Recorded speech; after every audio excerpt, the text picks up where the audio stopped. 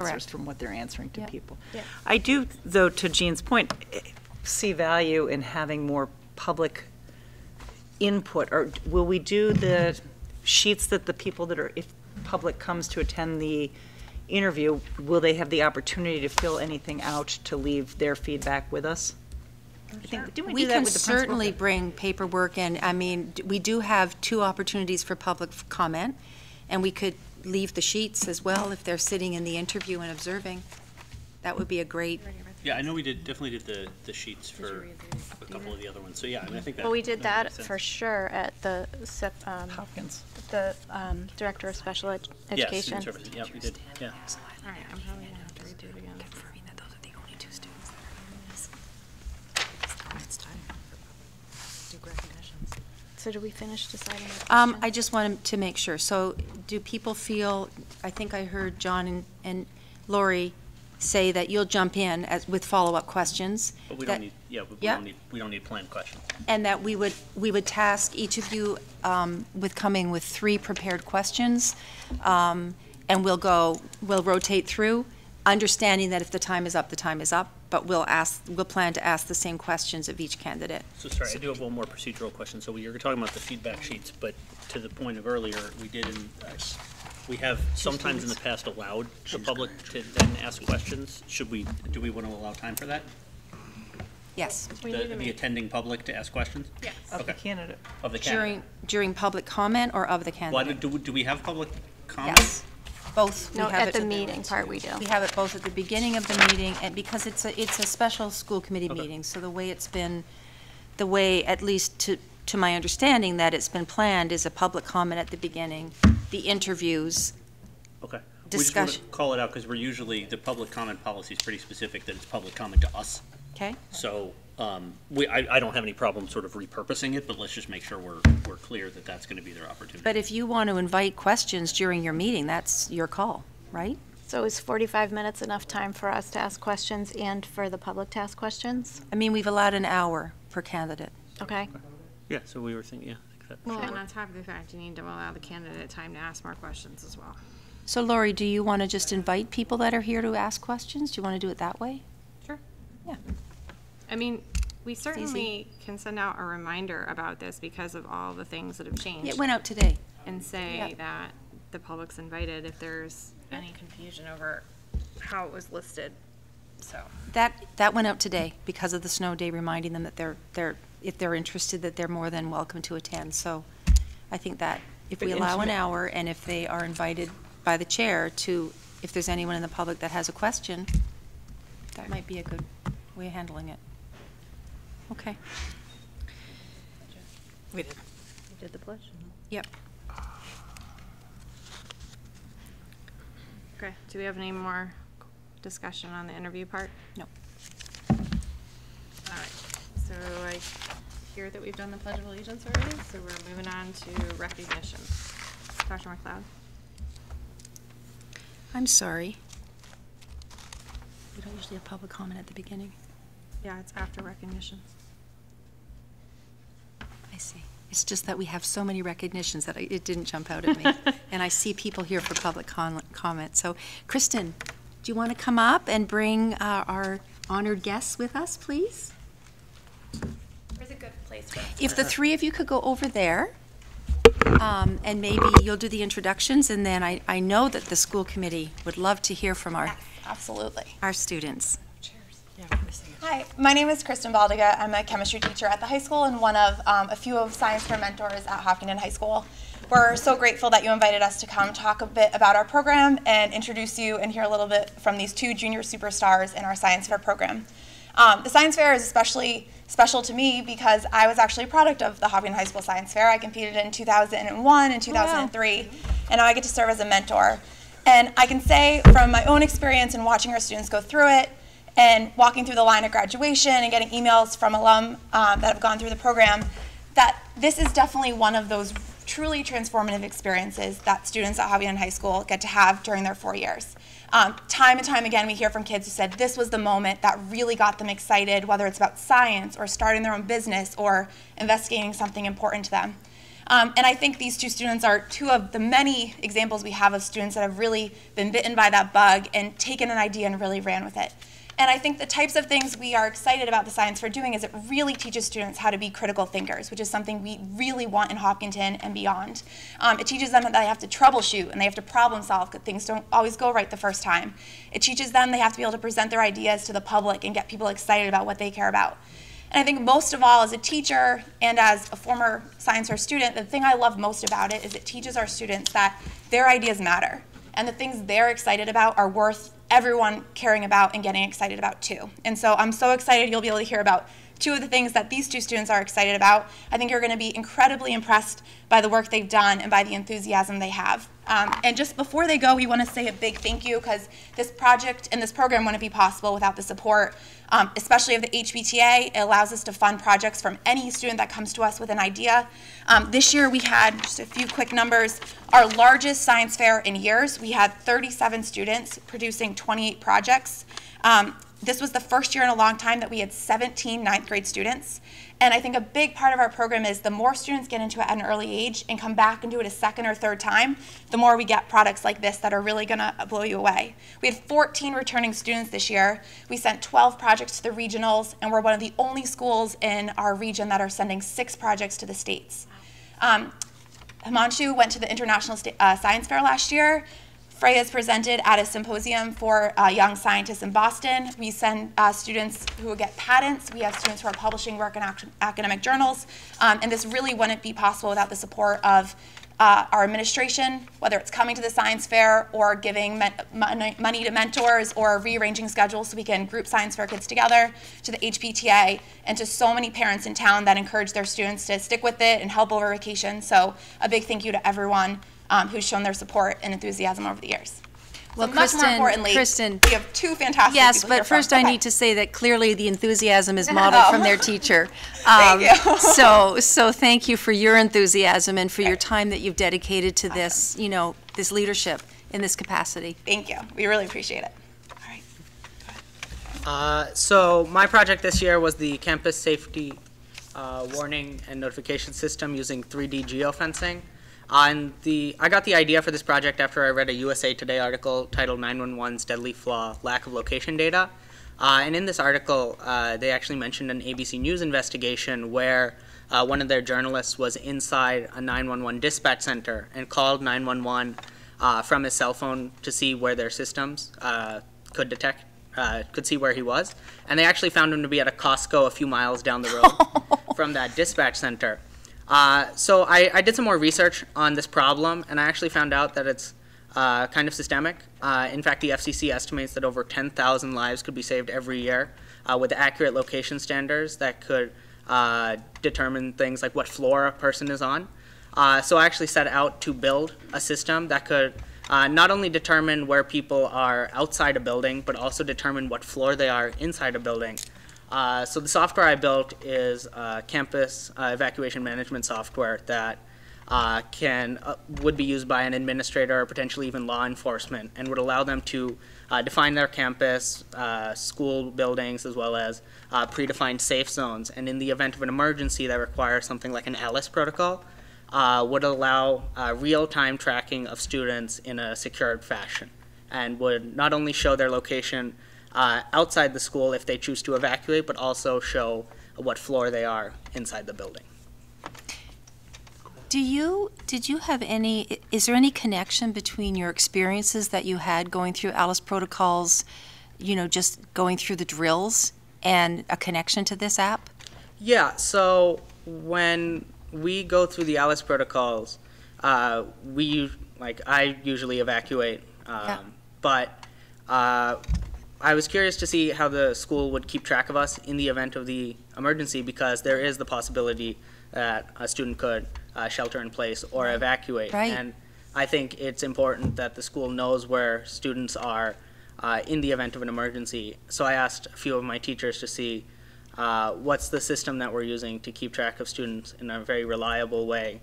Um, and I started to look at various solutions uh, to problems like that, and I couldn't find anything. Yeah. Um, so I decided to build my own system.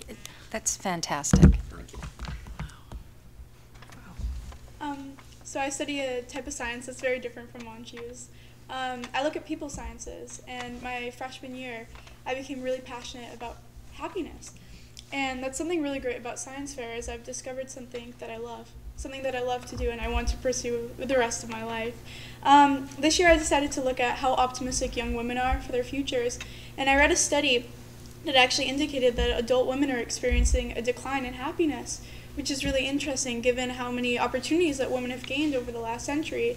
And there's this theory that the same thing is happening within high school with high school girls is they're actually decreasing in happiness where high school boys are actually increasing. So I decided to look more into that and I looked at I wanted to gauge a sense of how optimistic young girls ages 15 through 18 were and what were some of their dreams and what were some of the things that they felt held them back from being successful and getting the futures that they wanted. And with that knowledge, I really hope that I would be able to identify what held these girls back and then to come up with strategies or campaigns to try to restrict those factors and to reduce those things to help women stay optimistic for longer and to remain successful more, more into their future as well. And what did you learn? I learned a lot of things. So I asked, I had 17 female participants, and they completed surveys, and I asked them on a scale from 1 to 10 to rank how optimistic they are about their futures. And I found that in our school we have very optimistic girls. They're very optimistic about their futures, but what was really unique is that so many girls recognized so many factors that held them back, that they felt that they had so many barriers to overcome. And one of the biggest ones was themselves. Nine out of the 17 girls said that themselves are the biggest thing that holds them back. And I really wanted to look more into why this was. And so many girls also talked about society, being the competitive nature of society that really causes a self doubt about themselves. Um, a study done by the Journal of Economics in 2007 actually found that uh, in a competitive environment, women do not perform as well as men, and whereas men tend to gravitate towards that comp- uh, competitive environment, women don't. And we saw that with this competitive environment, it really affected how optimistic young girls were, and that kind of that competition to always be the brightest or to be the best athlete or to be the best caused this self-doubt with women to think that they weren't good enough which fueled that themselves being the biggest factor that held them back. But what was really unique and really beautiful is that eight of those nine girls that said that themselves was the biggest thing that held them back said that themselves was also the biggest thing that motivated them hmm. the biggest thing that drive them. So to see themselves working as both a motivating and a restrictive factor was really interesting and it, what it comes down to is so many girls recognize that their futures, they believe that their futures really depend on how hard they work. And they, as so many of these girls believe that they had the ability to work hard enough to overcome their self doubt and to remain successful and to remain optimistic about their futures. So one of the things that we spoke about, you know, when we were talking about those of us, a few of us that had had the opportunity to come to the science fair, was not only are you both clearly brilliant, um, and I know that you represent a very wonderful group of students in coming here tonight. I know that there are, and they're here on our agenda to recognize their accomplishments. Um, but you're also so well spoken and confident. Thank you. And you know that goes above and beyond your intellect and your understanding of science concepts. That you know you just present so well, and I, I just I'm just blown away. Um, listening to you, hearing your ideas, um, we're just we're all so proud of you, and uh, we know we'll be reading about you.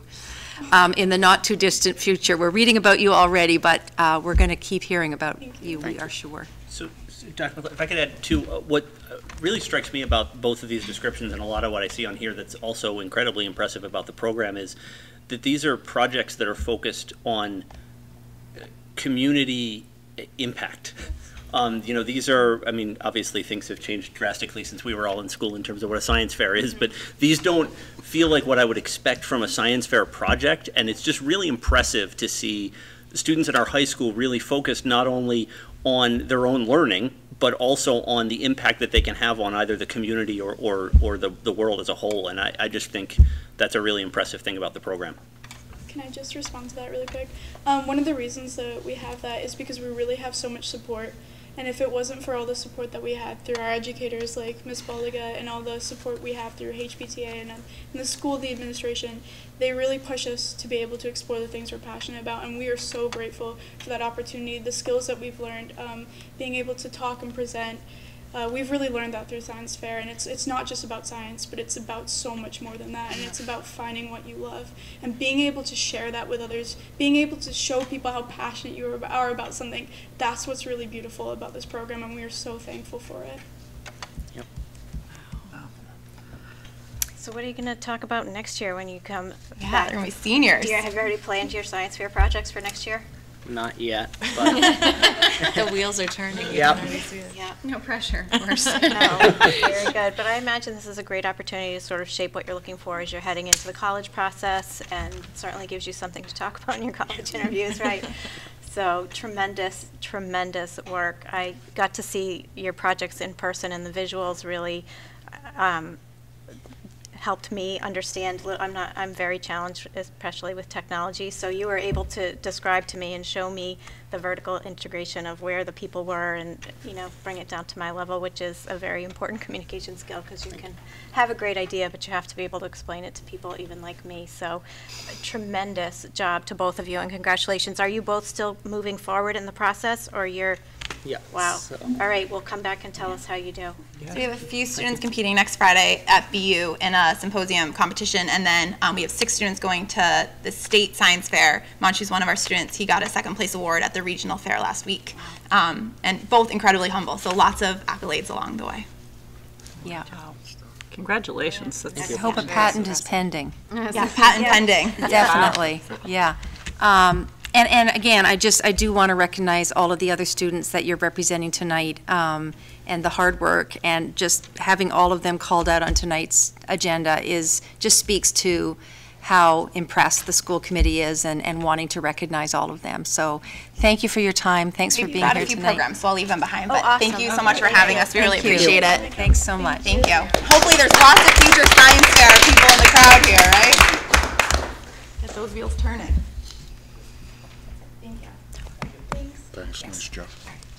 Um, so we have our first opportunity for public comment, which I am guessing that we might have some people here for There's some tonight. movement going on. If you, you just can come up over here on the side. Feel free to pull the chair over too. So you're both by the mic there? Yeah. Yeah. See that? If you want to pass your materials to me, then she can pass it down to us if you want. And just talk right into their Okay. So I'll, I'll let you know how public comment works. Generally, have you introduce your name and your address so people know where you live in Hopkinton and that you speak here, and then you can give us your public comment. And if you have any questions, you can direct them to me. Okay. Um, hi, my name is Allison LePage, and this is Hannah Connors, and we live on Pond Street, both of us. Well, she lives in Valleywood. We live. um, today. Yeah, go Okay. Um, we are from Girl Scout Troop 65294, and we are working on our Bronze Award project, focusing on the dangers of distracted driving in our community.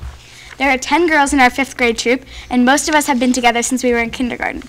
We are all working hard on our Bronze Award project, which is to educate people of the dangers with distracted driving and to help them change behaviors to make them more attentive when behind the wheel. We uh, as part of our award, we are putting together a number of projects to be rolled out in April, which is National Distracted Driving Month. You can find details of our project in the handouts we gave you, but some highlights include We have performed research at various traffic areas in town to observe drivers, making notes of how many are distracted and various distractions. Our troop has attended board of a, board of, a Board of Selectmen meeting and received approval for having signs created and posted around Hopkinton.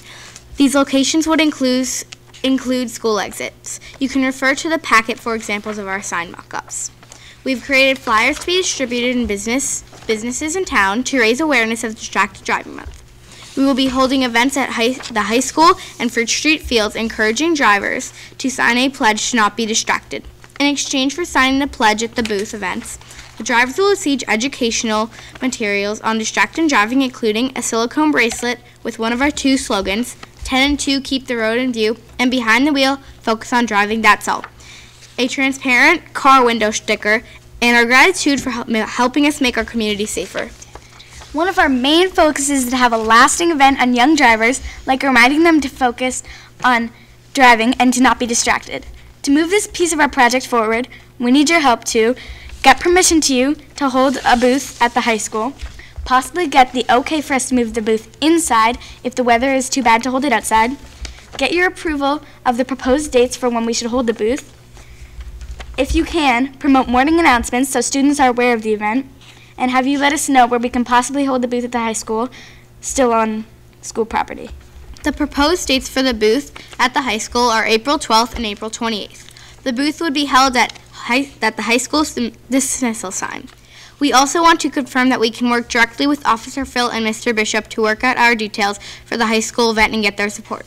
Thank you for your time and support as we tackle this important issue to make Hopkinton a safe town. If you have any questions, we would hap- be happy to answer them.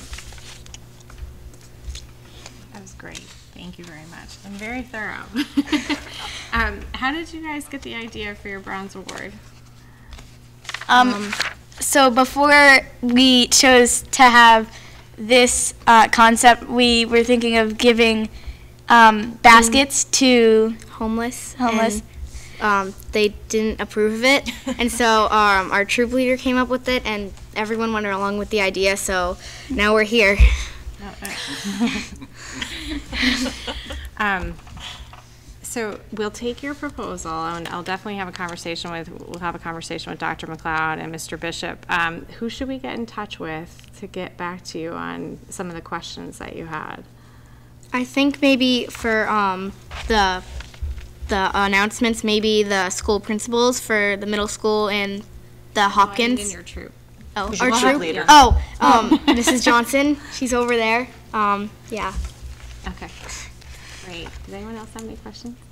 No, just, this is a really good job, and this is a killer presentation. This is like the, this is the swankiest packet we've received in a long time. Really, really well Did done. You make- guys did a good job. Did you job. make the art for your signs? Did you guys Uh, design those? No, well, yeah. Yeah, we designed them through um, Google Drive. So It's very cool. I like that graphic a lot. You did a great Yeah. job. Our troop designed the hand, yeah. Yeah. That's really good. I have a clarifying question. Sure. I have a clarifying question, girls. So um, I think I heard you say that the booth would be at dismissal time, at high school dismissal time, Yeah. but that's not your dismissal time. Um, So- yeah. Um, Oh. So we were also wondering, uh, we were, so we were gonna um, Get see if we could get out of school. Ah, I I missed that part. I missed that part of your presentation. That's in the fine print.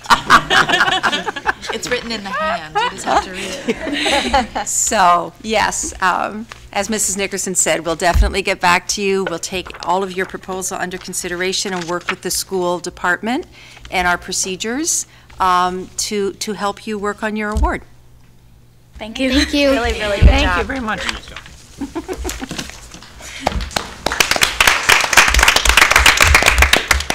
Is anyone else here for public comment this evening? Oh, uh, we got another one. Do we?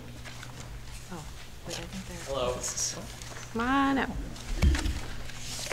This is our student council. Oh, is it our student council? Yeah, we're uh, a part of student council. All right, hang out one second. Let me just make sure there's no one else here for Oh, public sorry. comment. Is that not public comment? Yeah, No, no, you're on, You're you're your on. own radio. Oh, oh, oh, okay. Sorry, bad. Thank you, girl. Thank, Thank you, you. girl. That's the best crowd we've had all year. I know. Our entire audience just Now leave it. We did this, we did the science Um, fair. all right, so We have the being Girl that- Scouts, we have student council, and then this meeting's really gonna fall off a cliff. Oh, Start out really well. We need to do this stuff at the end. So end. just so that the committee know, before we move on, and you guys are fine where you are. Um, so I, I did receive, um, a- an advance packet yesterday and had not, and it was my fault for not forwarding it, but I actually think you would have much more enjoyed this than what I would have been sending you. Um, and I wasn't sure at the time if we were changing the dates, that's why I didn't forward anything yet. But, um, but that was excellent, and I'm actually very impressed as to how well they could speak in front of all of us like that, so it was great. There's Um, actually a request in here, I'm not sure if you saw it, about us helping them at a booth. We would love it if the school committee would, sup- oh, maybe. They want working us to- with They us. us Okay. they wanna help They just want us to get get the it set up, not Yeah. sit in the booth. Okay. I want a sticker All right. for my car, though. I want a sticker for my car. Um, bracelet, all right, though. so then we have no further public comment this evening, so we can move on to reports to the school committee. And our first report is the student council, which I'm sorry, gentlemen, I don't know your names, if you could introduce us to, Oh, that's- introduce yourselves. Yeah, that's fine. My name is Alex Wojak. And uh, I'm Young Wang. And we're both sophomores at the high school and members of the student council. Yep. Uh, so we just have a couple updates. Uh, number one, Unite Trivia was last night. So Unite is the program, if you don't know, um, kind of like Ignite at the middle school that mentors freshmen into the high school. Uh, and they have an annual trivia night. Um, so we were kind of left out of the equation being sophomores, just out of the years that go. But um, it's always a fun time. So that was last night. Uh, the talent show is at the moment um, in the other room, and uh, the class of 2017 runs that. Um, there are over 15 acts, which is great. Uh, the Be Free March Madness tournament is tomorrow, a 3v3 basketball tournament. Uh, Be Free has all kinds of events where they try to promote uh, being alcohol and substance free for a little bit of time and to take people away from the temptations uh, for oh, Friday night. Uh, and they have the March Madness tournament, which was great last year, and uh, they're having it again. And on Sunday, this isn't necessarily a, a school specific thing, but the Mary Corby 3v3 tournament is on Sunday. Uh, and I know that some kids in the high school are participating and promoting that. Uh, MCAS is next week, uh, Tuesday through Thursday, so yay. But um, it's uh, last one for us, so that's good. It's uh, English, so not too bad. Uh, and then on Tuesday night is the high school concert for uh, orchestra, chorus, and band. So all three together, it should be great. So some more updates. Um, so Friday, March 24th is an early release, and during that day there will be the spring um, captains council meeting. So all the spring sport captains will have a council, and it'll take out throughout. It'll take the day for them to be introduced to being a captain. And um, later that night will be the freshman sophomore cotillion at 6:30. And so, um, so we'd like to mention some recent successes around the school. Um, BPA, Business Professionals of America. Uh, 15 out of the 19 uh, students that participated went to nat- are going to nationals, and many other got awards. So that's great. Um, so our robotics, there was one team that uh, competed over the vacation, I believe, and they made it to globals. So that's really good for them. And uh, Enchanted April play was well attended. So um, the girls basketball team had a great season. They ultimately lost in the Division Two state championships, but they did a really good job. And uh, spring sports are starting. I believe it is this coming Monday. And um, we'd like to. Men- I'd also like to mention Emma McNamara won a gold medal in the National Scholastic Writing Competition, so that's really great. Wow, good for her. Yeah. Great. Yep, that's it. Thank you for coming much. out. Thank you. No It was great. Appreciate it. Thank you. You did a great job. Thank you. Have a great day. Thank Bye-bye. you. too. Um, so next on our agenda tonight, we have the turf field committee. Um, Mrs. King? Thank you. Hello. Everyone. Hello. So Dee's here tonight um, on behalf of the committee, and um, to ba- basically give you an overview, one of the things, as you know, that was discussed at the Board of Selectmen meeting of the 28th of February was the turf field. Um, And I felt it only appropriate that uh, an update be provided to the school committee, um, just in terms of the tremendous amount of work that has taken place this year.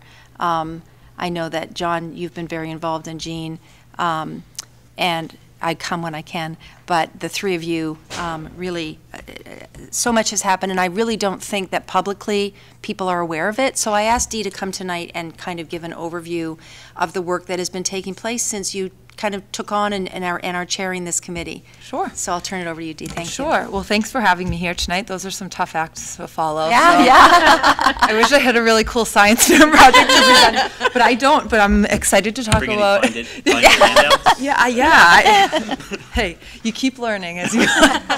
um, but thanks again for having me, just to to provide the updates um, on the work that our committee has done so far. Um, so as when I initially had presented to school committee about the beginning stages of forming the subcommittee and and working towards this goal of potentially implementing turf at some point, hopefully, um, it, it it was in some ways something that a topic that immediately surfaced upon being hired for the job as athletic director um, was the fact that Hopkinton doesn't have turf fields. Um, and for so many reasons, that got brought up to me. Community members were bringing it up to me, uh, opposing teams and schools were bringing it up to me. Athletes were asking about it, and um, I didn't have a great answer for them. Um, and so I've learned so much in this process about. Um, the town, about process, about so much, and so in the work that um, Jean and John and I have done together, along with Dr. McLeod, uh, we we really felt it was important to to start pushing the ball forward here. Um, and so that's where the idea of establishing the subcommittee came along. Um, and so we, we worked through September and beginning of October to make that happen. Um, and, and the goal with the subcommittee was to really put together a diverse group of people who had a variety of areas of expertise that would be able to fill in all gaps because none of us obviously can be knowledgeable on all of those subjects although some of those kids could maybe prove me wrong on that because I think they could be um, but but so that that was really the goal there and so it was amazing how many people had expressed interest in being part of the committee um, and it was I, I, was really, really impressed. Incredibly qualified, invested community members who wanted to be part of this and ultimately we we were able to put together uh, a group of people that we really feel strongly about um, in terms of their abilities, their competence level, and what they can bring to the table, just to to provide support in potentially putting this proposal forward at some point. So I just wanted to take a moment and just mention the the people who've been a part of the committee, just so that we know who, who's on it and publicly that can be out there. So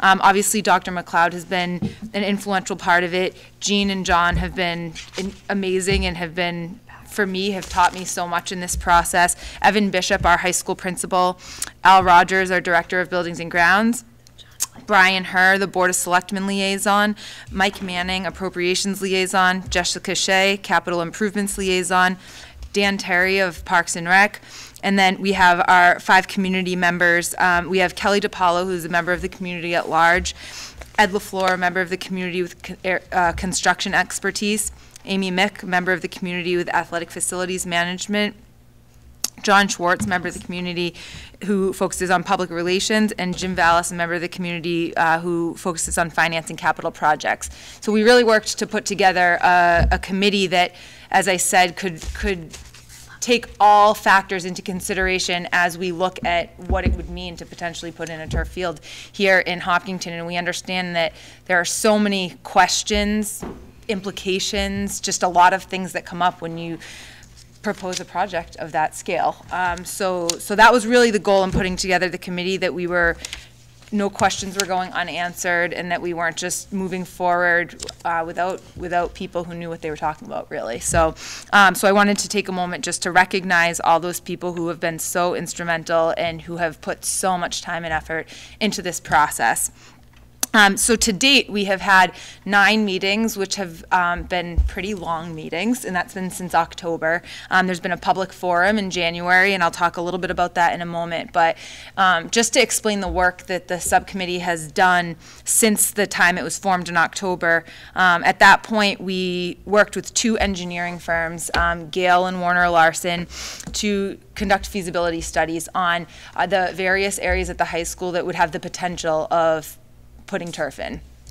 Um, and so both companies did the studies on the same areas just to have compare to be able to compare them to one another from both a design standpoint and a cost standpoint. Um, and certainly it's preliminary and it's not a full design, it's just a feasibility study to see what the potential would be for those areas.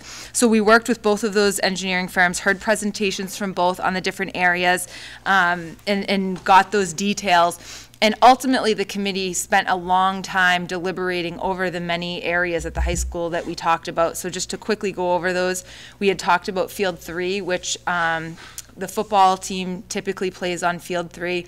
We looked at that with no track expansion and with a track expansion. Um, we also looked at the fields behind that, which are four and five, which currently are our sub-varsity soccer fields and also softball uh, and baseball sub-varsity fields. And then lastly, we had them look at fields 12 and 13, which are the fields way behind down the Loop Road uh, by Hopkins School. Um, so we, we tried to make sure that we were taking a comprehensive look at all the different fields that had the potential to have have turf put in there and and to try to make um, a really strong recommendation on what we thought would be uh, would maximize usage, would maximize revenue, and would really just make the most sense for for our school and our community, and certainly our athletic programs. Um, and so, after a lot of discussion and deliberation, the committee thought that moving forward in a phased project proposal would be a good idea. Certainly, as as all of you know, it's a it's a costly project, but um, we thought that if we had we started a phased project with fields four and five, um, which again are the ones behind the the football or field three stadium area, um, this would this would be the best starting point, and there's a few reasons for that. One, it was the most cost effective to start. Two, it would be the highest revenue producing because there would be multiple fields there, um, as opposed to, for example, if we just started on field three, that's really one field that you could use and rent out. Um, additionally, the our track has still has some life on it, and so if we were to do that right away, we would almost we would not be taking advantage of the time that's left on that. So we were hoping to, if down the road the that would have been a phase two of the project, or would be a phase two of the project to turf field three with a track expansion, which would align with the time that we need to resurface the track. Um, so that would it, we were trying to be fiscally and financially responsible in those plans so that um, we weren't just saying, oh, it would it would be really cool to have the stadium done first, um, because that's what I think publicly, from a perception standpoint, seems like a really good idea. But when we looked at all the factors, it really made most sense logistically, and we felt financially to propose it in a way where four and five were done first, and then ultimately um, at some point have field three done with a track expansion, which would also um, be important for so many reasons, but our track programs, um, and, and if we did it with a track expansion, we would not be limiting the amount of um, sports that could play games on that field. Whereas if we didn't expand the track, we would be limiting it to one or two sports. So we had the there was a lot of um, thought, and the the phased project had was very intentionally planned out, um, and so many so many of the committee members brought questions, thoughts to the table that were all taken into consideration. Um, but when we had our public forum on January 10th, this was the proposed presentation, and it, we we tried to make it really clear. There have been no decisions made. Ultimately, we are a subcommittee to the school committee, so we're trying to do all the work and the legwork and the research so that we could ultimately make a recommendation to, to you all to see if it's a project that you would support. Um, so at that public forum, we were, you know, we we got a decent attendance. People asked fantastic questions, um, questions about health risks, qu certainly questions about cost, questions about community, the community usage, usage in general, all things that are really important for us to investigate and things that we have been investigating. And since that time, we're working on getting answers to all those questions. So we've tried to be as transparent as possible in the process. Um, the as I'm sure you know from, from your website, the minutes and the agendas are always posted, the meetings are public, and we have had members of the community come and attend the meetings and take an active interest, which has been really awesome to see people take time out of their busy schedules to, to to ask questions, show curiosity, demonstrate support, and even those who have who might be a bit skeptical, who have some questions about things. So um, that's been that's been something that we've really appreciated. And our goal in this project um, was really to make sure that we were being thorough and that we are being thorough and that we're making sure questions are getting answered that people have and that we have our ducks in a row and that we're really following steps in a procedural way that that makes sense and not trying to you know go to town meeting at some point or go to a meeting and say oh we never thought of that or we didn't think of this. We really want to make sure that we're considering all factors. Um, and so at in addition to the public meetings that we've had, we've also had um, people consult with different times with um, CPC and CONCOM, and we've really tried to involve all the community groups that are, are invested and interested parties in any in any project of this nature. So that's been something that's been really important to us. And so since that public forum, um, we were able to put out um, the an RFP for design. Um, and so we, we got the approval to, to do that. And so we put that out to both Gale and Warner Larson, and those are due tomorrow, I believe, yes? So, yep, so those, those um, design proposals are due tomorrow, at which point, at our next subcommittee meeting, which is on March 28th, we can work to review those and then ultimately, uh, based on our discussion, make a recommendation to, to you as to who we think might be a great designer for this project. Um, so currently, in the midst of a lot of other mini research projects that are going on. Um, that that's where we're at at the current moment, and I think that um, we we know there's a lot of work to be done, um, and we know that there are a lot of we hope that there's a lot of community support, but we also know that there's uh, the message that we got was that there is not enough information out there, um, and that's something that we have to take every experience that comes in as a learning experience. And if people are feeling like there wasn't enough information out there, well, then our job is to make sure that even though it's posted and it's there, that we're actively taking more of a, a, role in doing that outreach. Um, and so that's something um, that I'm, I'm learning and that I hope, I think that ultimately with all the mini, as I said, mini research projects that are going on about comparable facilities and, and facilities management and what this would look like logistically, in addition, certainly, to the construction and the cost and the tax implications and all those things. Um, it's also really important for us to make sure that um, we we are working with all the all the people in town and, and making sure that they're knowing we we want to come to you informed and we're not looking to operate in a vacuum or in isolation. Um, and so that we're going to continue to stay optimistic and know that when I think about this project and I think about our community and our students and, and our athletes specifically within the hat I wear as the athletic director, that our kids deserve for us to to fight for this. They deserve for us to investigate it. And um, I think one of the messages that we're always giving them is that don't let a roadblock hold you back, and don't um, you know let one obstacle stop you from what you're doing. And I think that we have to, with every roadblock there is, it's cliche, but we have to learn from it. We have to figure out how to move through it, around it, and and just forge ahead. And so I think right now um, we're in the process of trying to take all the information that we have and, and get it out there and also continue along so that we can be as informed as possible at, when we take our next steps. So I think that for for us as a committee, and certainly, it, you know, um, in my conclusion after, if Jean and John or Dr. McLeod want to weigh in at all, um, please do. But I think the, like I said, the ultimate goal is to is to keep the public informed and to garner support for something that we think is really important for our kids and to know that that they deserve it. We're at a competitive disadvantage um, on so many levels, but it's also something that our community deserves as a gathering place and um, that that can just provide a lot of opportunity for our kids. So um, I again, I really appreciate the time to come and update you.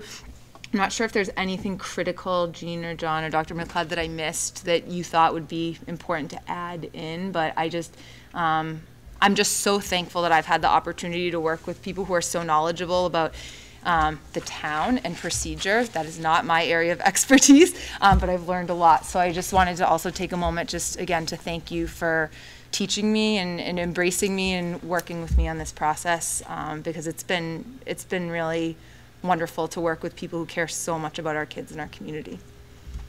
I don't think you missed anything other than to just say uh, you've done an incredible job. I think um, if we had told you in the interview process what you were going to be dealing with, maybe you wouldn't have taken the job. This is it's a high hurdle and it's a lot to walk into. You haven't even completed an entire three seasons of sports yet. So um, I just I really appreciate how, the leadership role that you've stepped up for and how positive and constructive you always are with the committee. And just you know nothing ever gets you down, and we're always moving forward. And so I really appreciate that.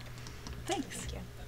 I would just sort of add, I, again, I think you covered everything, but you, you, mentioned a couple of times the, the mini research projects that are going on. Mm -hmm. This committee as a whole is incredibly committed to this project, and I have been really, really positively struck by how how inquisitive everyone on the committee is, how much they're willing to work. Everyone on the committee is taking uh, one of these small research projects. This has probably, s- this has probably produced more questions, more research than I think we, any of us expected going in. Mm-hmm. But that's a good thing, mm-hmm. because I think what it's allowing us to do is continue forward with what's going to be a really, really thorough proposal and a solution that can be supported by the community as a whole. Mm-hmm. Um, and so I'm excited, you know, about the 28th to look at the, the RFPs and just to continue to move this project forward because I think it's, it's a valuable resource for our town. I mean, I, I think at the, at the basic level, people don't really understand. I mean, I heard them talk about how spring sports start on Monday and we got a lot of snow out there. And, um, She's like, and so, uh, you know, this is this is one of the disadvantages of not having these, but also, as you said, I think hopefully people will start to realize through the outreach that this group will do what a valuable resource this can be for the community as a whole. So, um, so I continue to be really, really excited about this this project, and I think we're we're I'm still confident we're going to end up with a great um, a great asset to the town. Awesome. Thank you so much. I wanted to, I mean, definitely thank you. That was a very thorough overview of what's transpired since we last spoke in October, because I think actually that's the last time we may have had you here to talk about the committee when we were helping form the committee. Mhm. Um, I, I guess the big question that I still have though is, um, what is the expect, what is, when, when are you next expecting the school committee to help you, to help guide what the next steps are? Because it, I think the initial expectation that was discussed in October was that this would be something prepared for town meeting in May of 2017. And in light of the timelines that you just outlined and the amount of research projects that are still going on, to me, in my humble opinion, it doesn't seem like this is going to be ripe for town meeting in May of 2017. Dee, I'm So- going to jump in, okay? Yeah, sure. So I just wanted to understand what the committee's thoughts are on that. Yep. So again, we're going to blame a lot on the snow day, but because of the snow day and because the, the meeting that was supposed to have happened didn't happen um, with the committee, I met with Dee today um, to talk about tonight's meeting and, and that very question.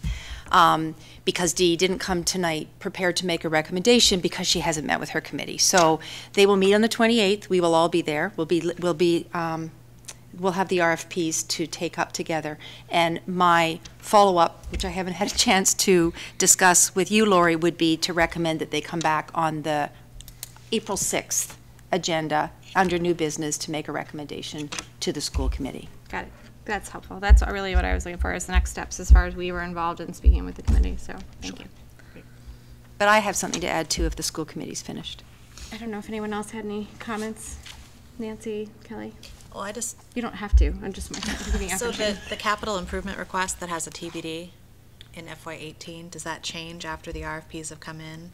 So that's what we'll discuss on the 6th. That's what you'll Yeah, so discuss on right, the sixth. Okay. right now, the only number that we have is what we presented to you when we came and gave the presentation, whatever month that was, um, when That Gail was was here. whole- Gail, Yeah, and so that was three point four, but, but w- there wouldn't be any change to that number until we go through the design process. Okay. So, right, I, Okay, thanks. It's kind of picking up on what John said, but also to make clear to the committee. Um, First of all, Dee, thank you for your leadership in chairing this committee. Um, I know when we asked you to chair the committee, we, like Jean said, I, I don't think, you know, it- just in terms of the enormity of what you've taken on. Um, And it's so delightful because you just, you learn so much as you go and, and you reflect on it and you're, you're just a, a great example of that. But I did want to make a comment to the school committee in, in a follow-up to John's comment about the snow, that as Dee left my office today, um, we did have a conversation about the condition of the fields, and that's kind of where this all began, which was, and we have a good process in place, and I, and I feel that we've really will have a much better result, you know, once the, once the, well, by next fall. But the reality is that Fruit Street is not an option. Um, the, the result with the lighting that we thought would be a solution was not. Um, Parks and Rec worked, worked with us and really helped us out, and we really did all feel that it would be a solution, but the reality was that it was just not bright enough to actually play, so it was a great place to go for practices. But I just want to reinforce to all of you and anybody listening that that's why we always talk about how long this takes. Right? So we know we are faced with challenges not only with the level of preparation of our athletes, but with the, the reality of wet spaces um, that we've, we're learning more and more about as we're going through design and RFP and meeting with Warner Larson, Larson et cetera. We've got wet, low-lying um, fields, and that's not going to change. So, um, you know, again, I just appreciate the work that you've taken on, and you've taken it to a level that we've been, I know that we've been talking about this for four years. So you've taken it to that next step, but just reinforcing the importance of moving this project forward because those conditions are not going to change. And we are going to continue to be challenged with appropriate practice areas for our athletes. It's not just about turf, synthetic versus natural. It's about the bigger picture of being able to play on a field that is not compromised by weather conditions. So wanted to just, you add, you said, is there anything to add? I think that's an important one to add, Dee. Um, you're, you're a champion, you look for ways around it. Um, but I think that this is another reason why we're looking at this project for the, for the schools. So, Thank you. Thank Thank you you all so for much. having me. I'll see you next time. Yes, two weeks. Okay, thanks so much, Dee. And thanks to your mom. Stepped in to babysit. The, um, and we're- next on our agenda are any liaison reports, which obviously we just had a turf committee update. I don't know if anyone else had any other liaison, um, updates. I have a very brief one, which is that for the Charter Review Committee, we were, um, we received notification from the Attorney General that um, our charter was approved by them, so it will move forward to the ballot in um, May. Congratulations. Excellent. The Youth Commission met uh, since we last met and is planning a cultural uh, day on June 10th, so at the HCA. Um, Elementary School Building Committee has not met, I don't think. think Did we I miss meet one? next week. We meet, yeah, we meet on Monday, um, at six-thirty, and, um, yeah, no real updates. I mean, most people can drive by and see the updates on that project, so. Waiting for it to go vertical. Right. Yeah, I know, I didn't see any steel yet, so that's why I was wondering. No, the steel hasn't come in yet, but. I think it's soon. It's, yeah, I think it, Um, Kelly, did you have anything else? Nope. So I know that CPAC group had a um, basics right basic rights forum last night. Um, I was not in attendance, so I can't speak to how well attended it was, but um, it's a yearly um, event that they hold um, as part of, and I think it's actually legally required to be held in the district at Mm. some point. Um, the next CPAC meeting is actually next Tuesday night at seven, which I hope to be in attendance of, because I feel like I haven't seen anyone since December. Yeah. But, um, and so I don't have any other, I mean, I don't really have a need to give a liaison report on our Board of Selectmen meeting, because we were all there. Um, and I wasn't, I think we've individually given updates, and then I'm trying to think of anything else. I think as far as liaison goes, I have nothing else. Um, I can move right into the school committee chair report, which I do have a couple items. Um, I'll go with the first one. So we all had received a message, I think Sunday night, from M- Mrs. Claire Wright about a name suggestion for the new school building um, after Dr. McLeod so aptly introduced a wonderful woman named Emily Emily Paul- Poulsen. Poulsen. I couldn't, I couldn't Poulsen. tell Poulsen. Um, and so Claire eh, wrote the email to all of us and the board, all of the Board of Selectmen, which slightly confused me as to whether or not she was writing in her capacity as Board of Selectmen or in citizen. So my response was directly to her and to Dr. McLeod to avoid any open meeting law concerns. Um, but I just wanted to let you all know that I did respond um, and outlined for her what our timeline had been for submissions and that we had yet to make a decision, but that individual citizen recommendations had had expired, that time had expired, um, and that Emily Paulson was not a name that had been prior submitted. And then Mrs. Wright wrote back to um, clarify for me that she was writing in her capacity as a citizen and just wanted to let us know of what her feelings were on it in terms of that name. So just letting you all know on how that response went, being that I was not able to include you all. Um, and then my other matter that I wanted to bring up from the chair report standpoint is, in light of the meetings that we've been having um, and budget discussions, and actually this really grew out of how successful our warrant article was received at special town meeting in January, and where members of the public had actually approached, I know John and I, as we were walking out, and maybe others of you, um, people were extremely impressed by the FAQs that were presented and having a handout to understand the article before going in there. And it was funny because it was actually stated to me that they wished all the articles were like that, so they had a better understanding prior to the article discussion what their questions would be and um, and what information was most pertinent to it. Um, so I know that after our last um, school committee meeting, which was a large budget discussion during that meeting, um, it was I had discussed also separately with Dr. McLeod the possibility for one of how we were going to do our budget presentation at town meeting, but in addition, um, having FAQs present for any of our capital articles, um, so that the town would be aware of why we felt they were important to go forward, what the actual need was, you know, where we got our numbers from, those types of questions that generally are in people's minds when they're looking at why are we needing to spend this money now. So the thought was that if we leave this all to one person to do for all the capital articles, it's an immense amount of work in a short period of time. And would the committee be interested in divvying those up so that each of us could draft them, bring them back to the committee, and um, agree on whether or not those are appropriate for having as handouts to the town for town meeting. And understanding that if certain capital articles get removed in that time period, then we just wouldn't use them. Um, so I wanted to understand everyone's interest on that because obviously this isn't something that could send over email and ask for questions on. So I wanted to understand what everyone's take on that was and if they felt that that would be a good use of our time for that. I definitely think handouts are a great idea. Um, I, I think, yeah, I think that's a no-brainer in my opinion. I think we should do that.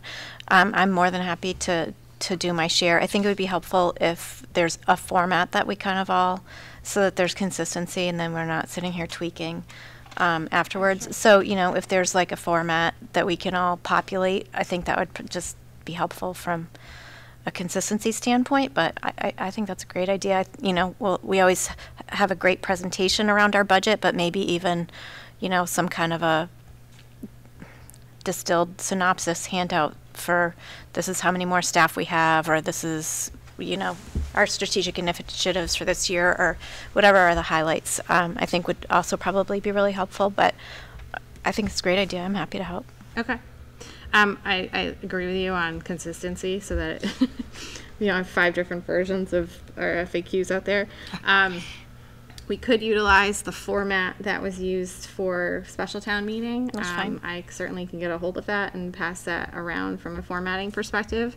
Um, I do like the idea of it also encompassing some major budget items because I think it would be helpful for the townspeople to understand what the big drivers are in our budget. Right, yeah. Um, and, and also, you know, whether or not we do have any big new plans, which we don't, um, but what is driving the increases and, and where we stand. So I, I think that's a perfect idea as well.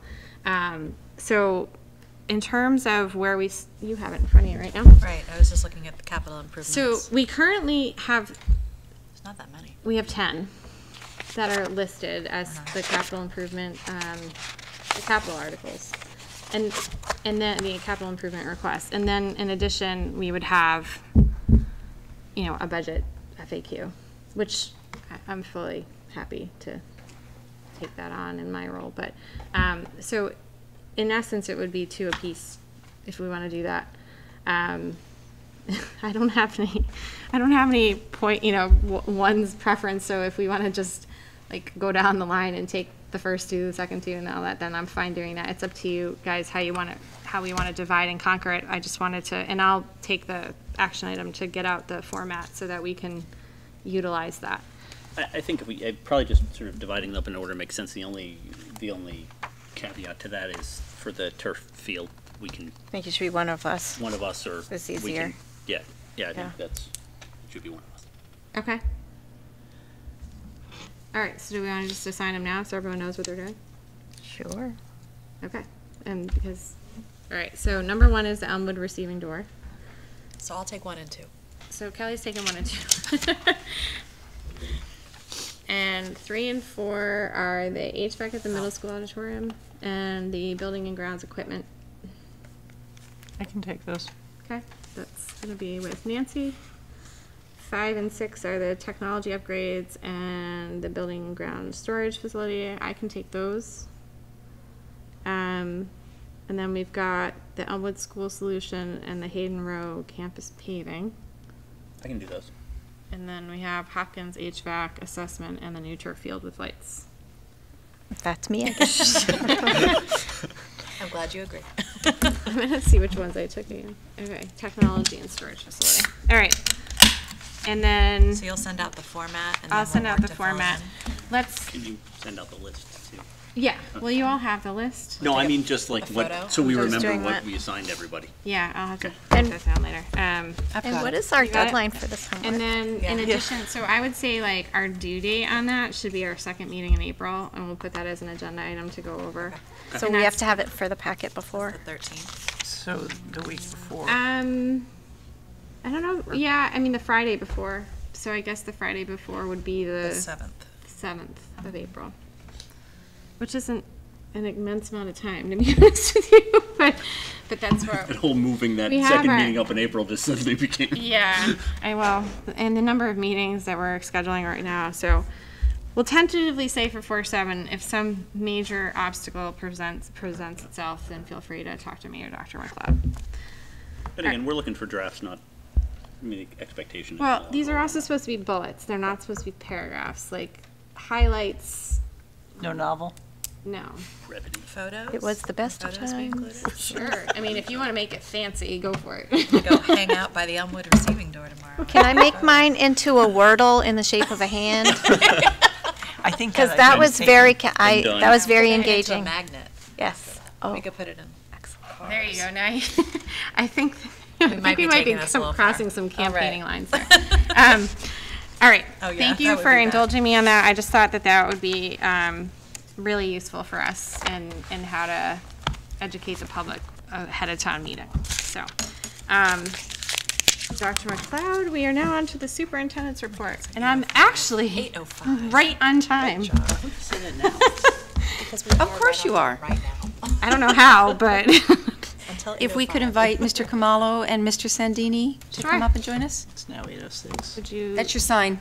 That's your signal. it was very civil. Um, I- I'm really going to focus my, my report, um, for this meeting on, uh, on the, on a budget update in terms of,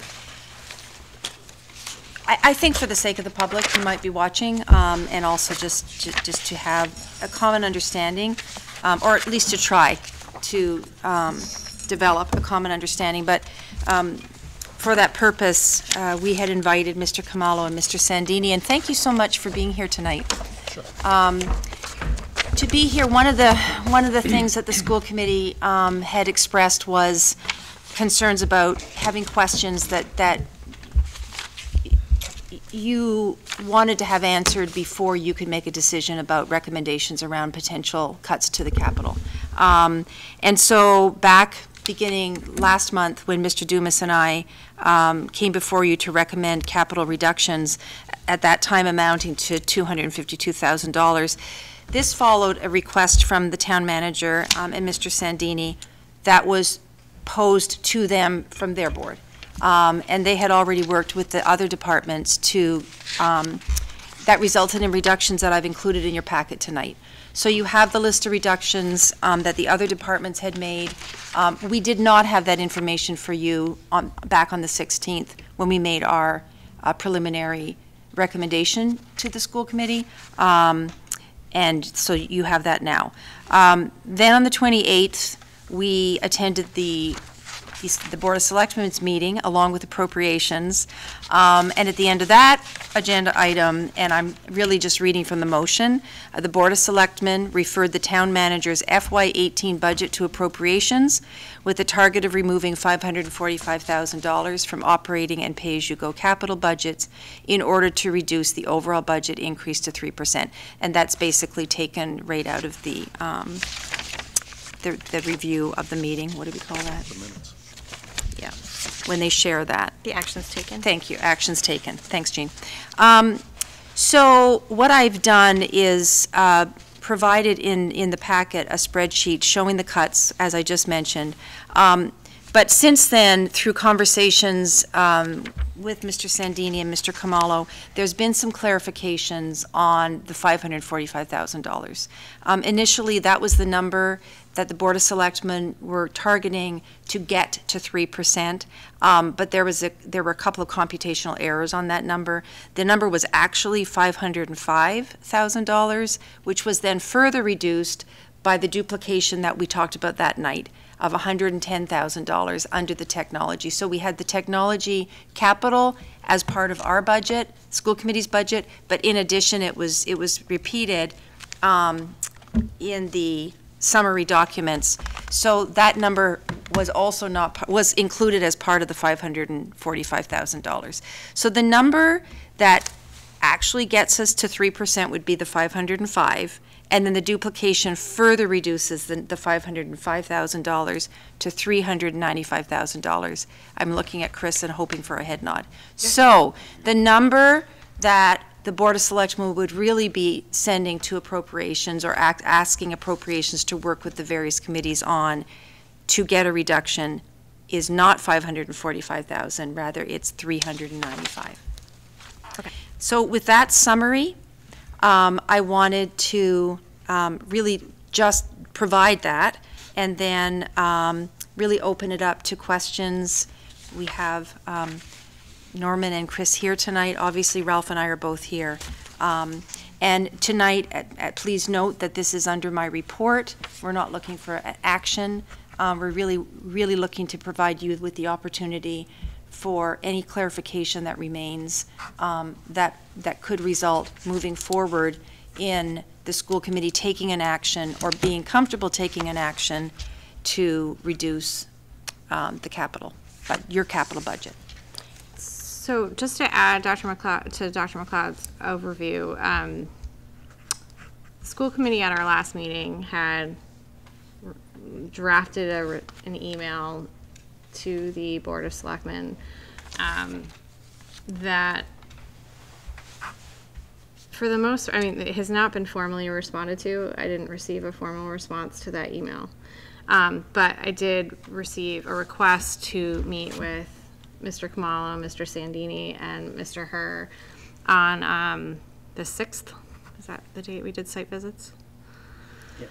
So we had that, we had a meeting that day after we finished our site visits and Mr. Rosiano joined us. Um, and we're trying to come up with what that next meeting would look like and when it could possibly be. Um, I know a Google was sent out to all of you about a date, and I think that there was a miscommunication on my part as to what we were actually looking for communication about. Mr. Sandini had, at the same time, sent me a request for when we as a committee could meet with appropriations, which I later Mhm. found out we typically don't all meet with appropriations, that it's typically just the chair, Mr. Dumas, and Dr. McLeod.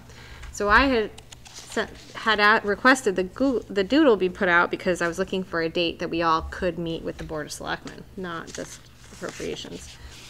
So when we met that on the sixth, I proposed that date, that was the only date in common, which was March 29th, and asked Mr. Herr to go back to his committee, uh, to his board, and ask if they were available to meet that night, and we were trying to figure out a mutual location for us all to meet and go over what wh- how are we gonna move past the impasse that we appar- apparently are on.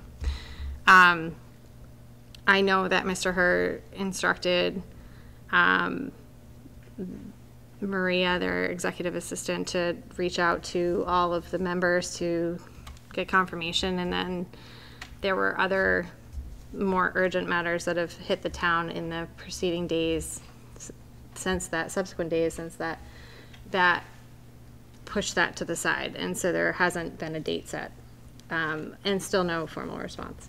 So I just wanted, because I haven't had the opportunity to talk to any of you, because we haven't had a meeting since then, for you to understand what happened to that communication and, um, and understand that there was one further meeting and an attempt to come up with an agenda and some ground rules and there was a lot of discussion that rehashed a lot of what we had talked about the night before um, or the meeting before, but not a lot of conclusions were drawn other than the fact that both the committee and the board are at very different places as far as the budget's concerned. So. Um, I thank you both for coming, um, because I think what Dr. McLeod had in mind and what I had in mind along with her was that although we haven't been successful in having a joint meeting set up to discuss with the Board of Selectmen, we certainly, as we stated in our email, are committed to trying to move the budget process forward. I will say that I understand that there are that there were er- errors that have allowed for the recalculation of the amounts, but it's still just uh, further exacerbates the amount of numbers that we've seen come for, come through. And so in the allocation of budget cuts that we were provided in our agenda materials tonight, um, it still states that we have a percentage that just seems a bit disproportionate to what the school budget is and the overall operating budget, so I'm not, I know we had a brief conversation about this on the sixth. I'm not sure that the whole committee understands that, so I wanted to at least put, bring that question out in the open to see how we could better understand how that seventy-two point seven five percent is allocated to the school district. By all means. Yeah.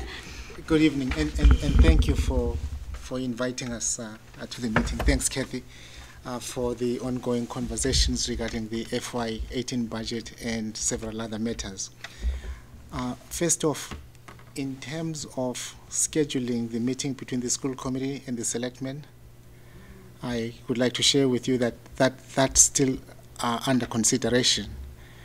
Uh, scheduling the meeting has been complicated by the fact that the board is faced with scheduling three off-scheduled meetings, two with this uh, school committee and one resulting from the cancellation of the board's regular meeting this past, uh, this past uh, Tuesday because of the sto- snowstorm. And thus, um, this is a board that normally would meet uh, twice a month. They are now faced with the possibility of, uh, as I said, scheduling three off-schedule meetings, and that's why it's it's taking longer to, to get an agreement on the meeting times. Um, in terms of the percentage allocation, I think it, it, it all boils down to the realization and recognition that the way the budget is constructed, fixed costs, including um, health insurance, general insurance, as well as debt service, are included on the municipal side.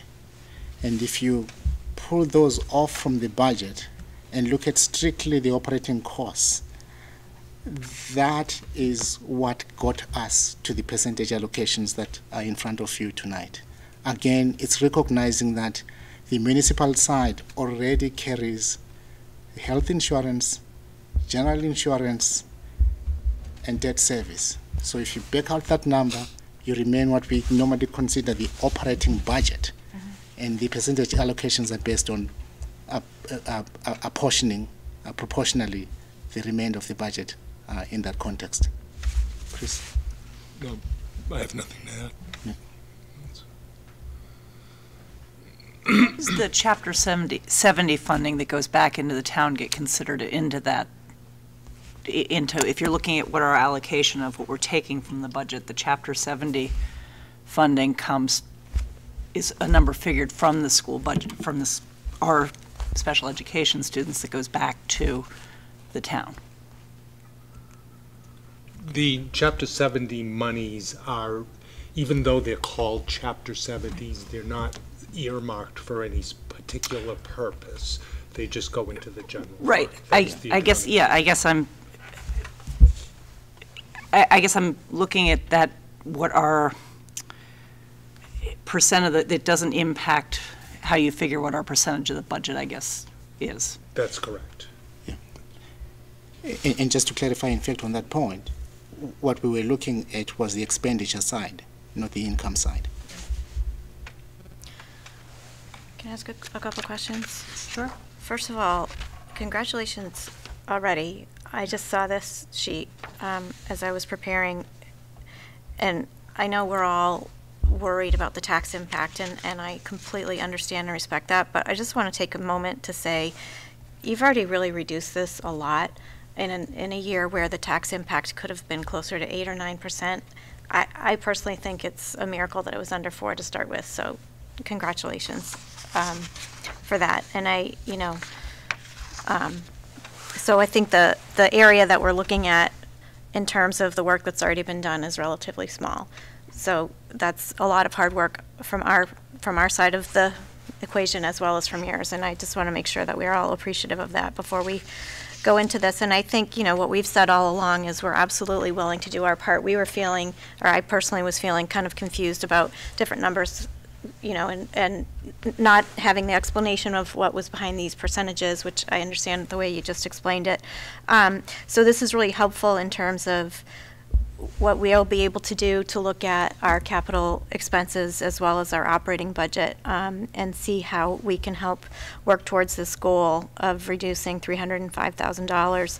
Um, I think my understanding from our conversation at our meetings has been that we have a lot more comfort looking at our capital articles than we do at our operating budget um, for contractual obligations. And, I mean, we really um, already took a lot out of this budget before we ever sent the number to you in the first place. Um, so, you know, I think what I heard from my colleagues is that we have a little bit more comfort in postponing some of our capital articles for a year, if that's what's going to be helpful in, in getting towards this target number. Um, but what I, my, my remaining question in that regard is that I believe that also the Board of Selectmen has requested an underride. I don't know the amount of that. Um, and I would like to know before we decide what to postpone to a future year, what the impact of the underride would be on what you're projecting for FY19 and FY20. Because we have years where things are more affordable, right? And so uh, what I don't want to do, since, since I think we're leaning towards capital articles, is push this problem forward and be sitting here next year worried about, you know, now this is 4% or wh- whatever it is. And so I know, you know, the numbers that we looked at on the 28th, I think it was, um, FY19 and FY20, and I know it gets harder the further out you go, but FY19 and FY20 were not as concerning as FY18 was. Um, I just want to make sure when you take, I think it was a million and a half dollars, but I'm not sure, I wasn't that, there for that part. When you take that out of, I guess, what you call excess levy, is that right, John? That's correct. um, then that's going to impact what you had on that sheet of paper at that time with that information. And just so, I don't want to put you on the spot right now, but in terms of, you know, before our next meeting, if we could get an update to those projections, I think that would be really helpful in terms of what um, projects it makes sense to, to move forward, or what the impact would be of moving forward projects. Because I don't want to, to move something forward this year that then makes it a very, very difficult choice between two things for next year for us. Um, You know, for one thing, and I, um, and I had another really great idea that just came into my head that I can't remember, so Can I I'll. I'll think about it. He'll come back. Yeah, hopefully. Well, I, I will do, I will do those calculations and send them to you, and I'll appreciate it if you could tell me what the un- underride amount was, because I still am in the dark as to the amount. Yeah. But, um, it, that will have no immediate impact. As far, as far as your tax, the tax rate next year and the year after and the year after, it has no effect on it. Um, What it has an effect on is our ability to raise money. It's like you're doing fifty-five on the highway and I reduce the speed limit from seventy to sixty-five.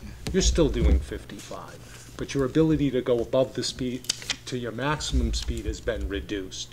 So in the short term, there will be no impact as far as the ability to pay for those projects next Okay. year, because we have so much excess capacity right now. What's concerning to me is farther down the road where we don't know what's going to happen. We're building uh, uh, stops in town, growth stops in town. At that point, those numbers begin to narrow, and I've been with enough municipalities where we've been barely above that line to know it's not a fun place to be. So that's the impact in the future. Near future, uh, you, you don't have anything to worry about. Okay. But it is in the longer term that uh, is concerning to me, that we're, we're tying our hands to, and our ability to raise money to afford the, the uh, services. So, and I, I will respectfully say that all of that is way outside of our purview. You know, once you get way down and, and the impact of eliminating the excess levy, that's, that's on your plate, thankfully, and not mine. But, um, the only reason I raise the question is I, I thought from that presentation that one of the ways that we got down from like the seven to, or eight percent range down to like the three point eight seven, I think was the number, was because there was excess levy built in there. And that's why I thought taking some of that out was going to impact the tax rate. And so it may be that I didn't understand that properly, and you're shaking your head, so I didn't. Okay. So I just wanted to be very clear that we're not paying a problem forward by pushing something off, you know, for a year. Not relative to the uh, uh, levy capacity. Okay. We're, we're, we're certainly not going to hit that next year, no matter what happens. Okay, and then my other question did come back to me, which is that I don't know how it gets decided, which of our, how our capital articles are funded. I mean, obviously, the huge ones, like a school, is going to be a debt exclusion, but sometimes they're pay-as-you-go, or sometimes they're not. Sure. We don't, we don't ever make that recommendation or request. Um, And so I know we have some things on this list that are in different buckets, if you will. And so just, you know, if we move something forward that isn't necessarily in the pay-as-you-go list, I don't know if that's helpful to the problem that we're currently facing, and you're going to be also reshuffling that, or if we really should not be looking, we should only be looking at what is currently in the pay-as-you-go bucket in terms of what we consider. Do you, do you understand my Yeah, question? I didn't say that very well. We actually, I think, um, we got two mandates. One was to um, reduce the budget, which would be the pay-as-you-go piece of it would eh, factor into that. The the borrowings, not so much, because all that debt will, will be incurred um, in, in uh, 19. Mhm. So that's when we would begin to pay some of that off. But we did get a mandate to reduce ca- uh, capital requests under borrowing, isn't that correct? That- But that is th- correct. That, that was a separate request from the Board of Selectmen, as I understand it, to reducing the budget.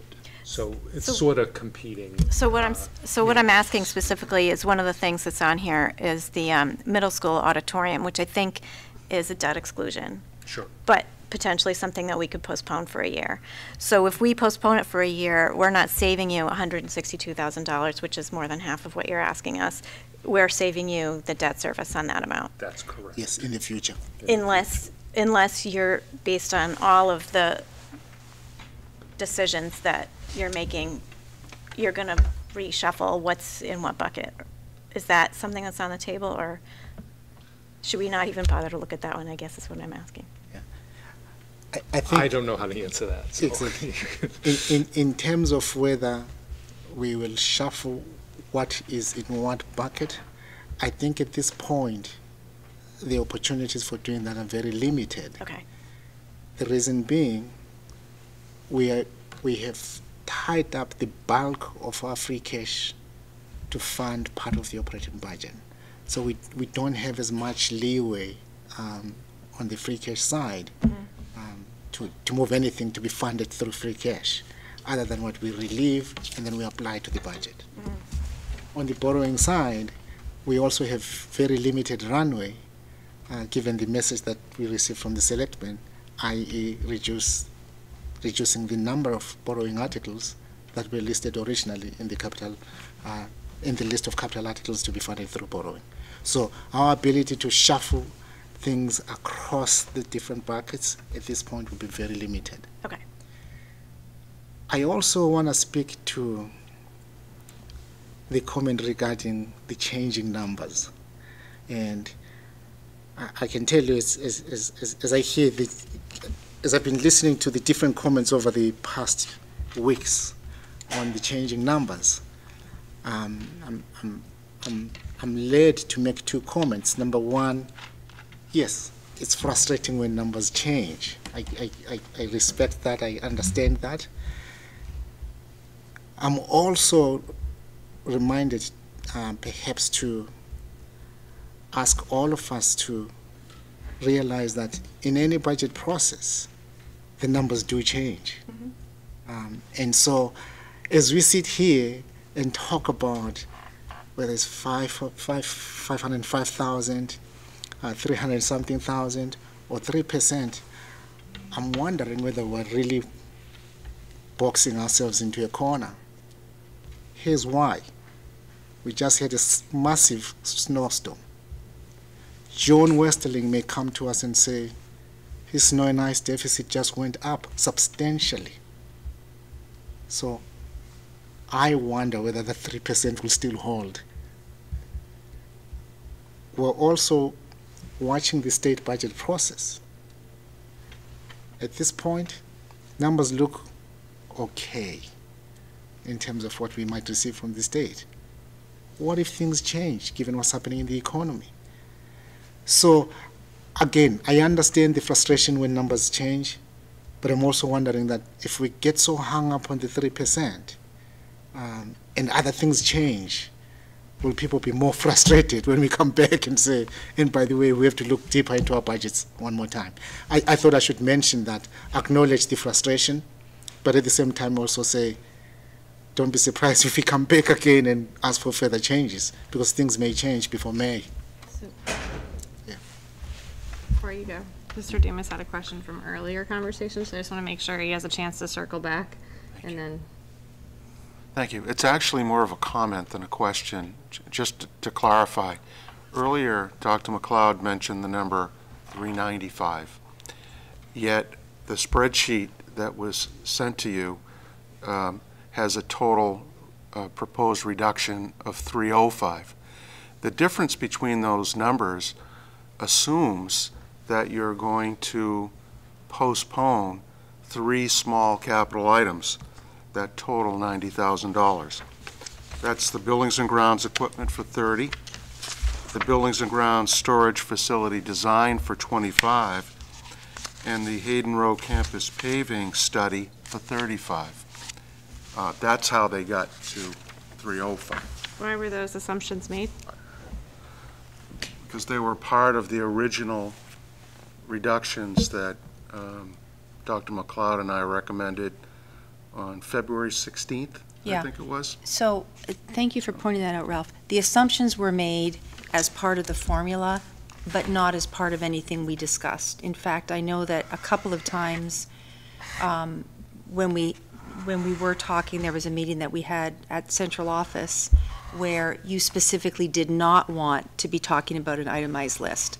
So it was an assumption that was made outside of, um, of this discussion, and, but as Ralph points out, was something, um, wasn't, was something that was included in getting to the 305. So um, we've had conversations about the fact that this was not something that the school committee had ever approved, um, and I've, I've communicated that to you as well, um, that in my communications with you, that this was not, as we went forward, um, something that you had already approved. The fact that it did get included in the assumption, um, I don't know why it was included, but it was included. Um, But it would be, I'll just, I'll just comment, it would be, from the town side, um, the school committee's part in reducing the capital, Gene, as you've acknowledged, as other departments have done. So, So so that why. would mean if you take that, the number is three ninety-five. Yep. You've already, um, recommended, we'll say, ninety thousand dollars of cuts to the school committee capital requests. That would leave, based on the percentage on this paper, you would still be looking for an additional one hundred and ninety-seven thousand dollars to come from the school capital or operating budget. Is that correct? What was It's 305? 305 is what I, is that? Yeah, it's the 305. Seventy-two percent of three oh five. It's two hundred and twenty-one thousand. okay. If you look at the sheet that has three oh five as the total, that's the total cuts for the entire town. Our proportion is seventy-two point seven five percent according to what we discussed earlier. Oh, And that- But that assumes we've, we've already taken out ninety. Right, which I just realized from here. Right. So the number, So why isn't it seventy-two of the three ninety-five? That's what I don't know. 90 Could be taken off of that for a bigger chunk. Can I take a shot at that? Yeah. Um, we, this, this all stems, we think, and I think Kathy agrees that, uh, from us appearing at the Board of Selectmen's meeting prior to the school committee appearing at the Board of Selectmen's meeting. So after that first initial meeting, I believe you have a list, I don't know if they have the list of cuts that were made subsequent to that meeting. Yes, they do. on- On the town side. Yeah, that's what Jean was referring to. Yeah, so what we did is we held off, because we knew you folks hadn't voted, and was, I, I apologize for making those assumptions. What ends up happening is, I'm in this budget all the time, so when somebody tells me, here's the set of facts, I don't wait for reality to catch up to what the facts have been told, so I jumped the gun on that, um, in subtracting, reducing the ninety. But the theory wasn't, let's all give it to the school committee because they, you know, they can pull it from their articles. We had done our due diligence prior to that at the direction of the Board of Selectmen. So what I, I, I mean, and that's all well and good. No one's accusing you, Chris, of anything, and I, and I don't. I, I agree. Like you're given facts, and, and that's what you think to be facts, and that's what's done. But what I want to be able to leave here with is what's the number? Right. And based on what's here in the seventy-two point seven five percent, and I can pass this to you so you see what I'm looking at. I think this is one of the documents that you had provided, Dr. McLeod. Mm-hmm. Yep. The three oh five is the bottom number. Sure. So at this point, what I'm hearing is that it really should be three ninety-five, and that our percentage would be seventy-two point seven five percent of the three ninety-five. Is that accurate? No. No. No? Okay, that's where I'm confused now. The, we, we originally had cut capital from our side of the fence uh, prior to that meeting. So what we were incorrectly assuming is that the school committee would make like cuts on their side for capital. And then we would have a discussion how to uh, resolve the final $305,000.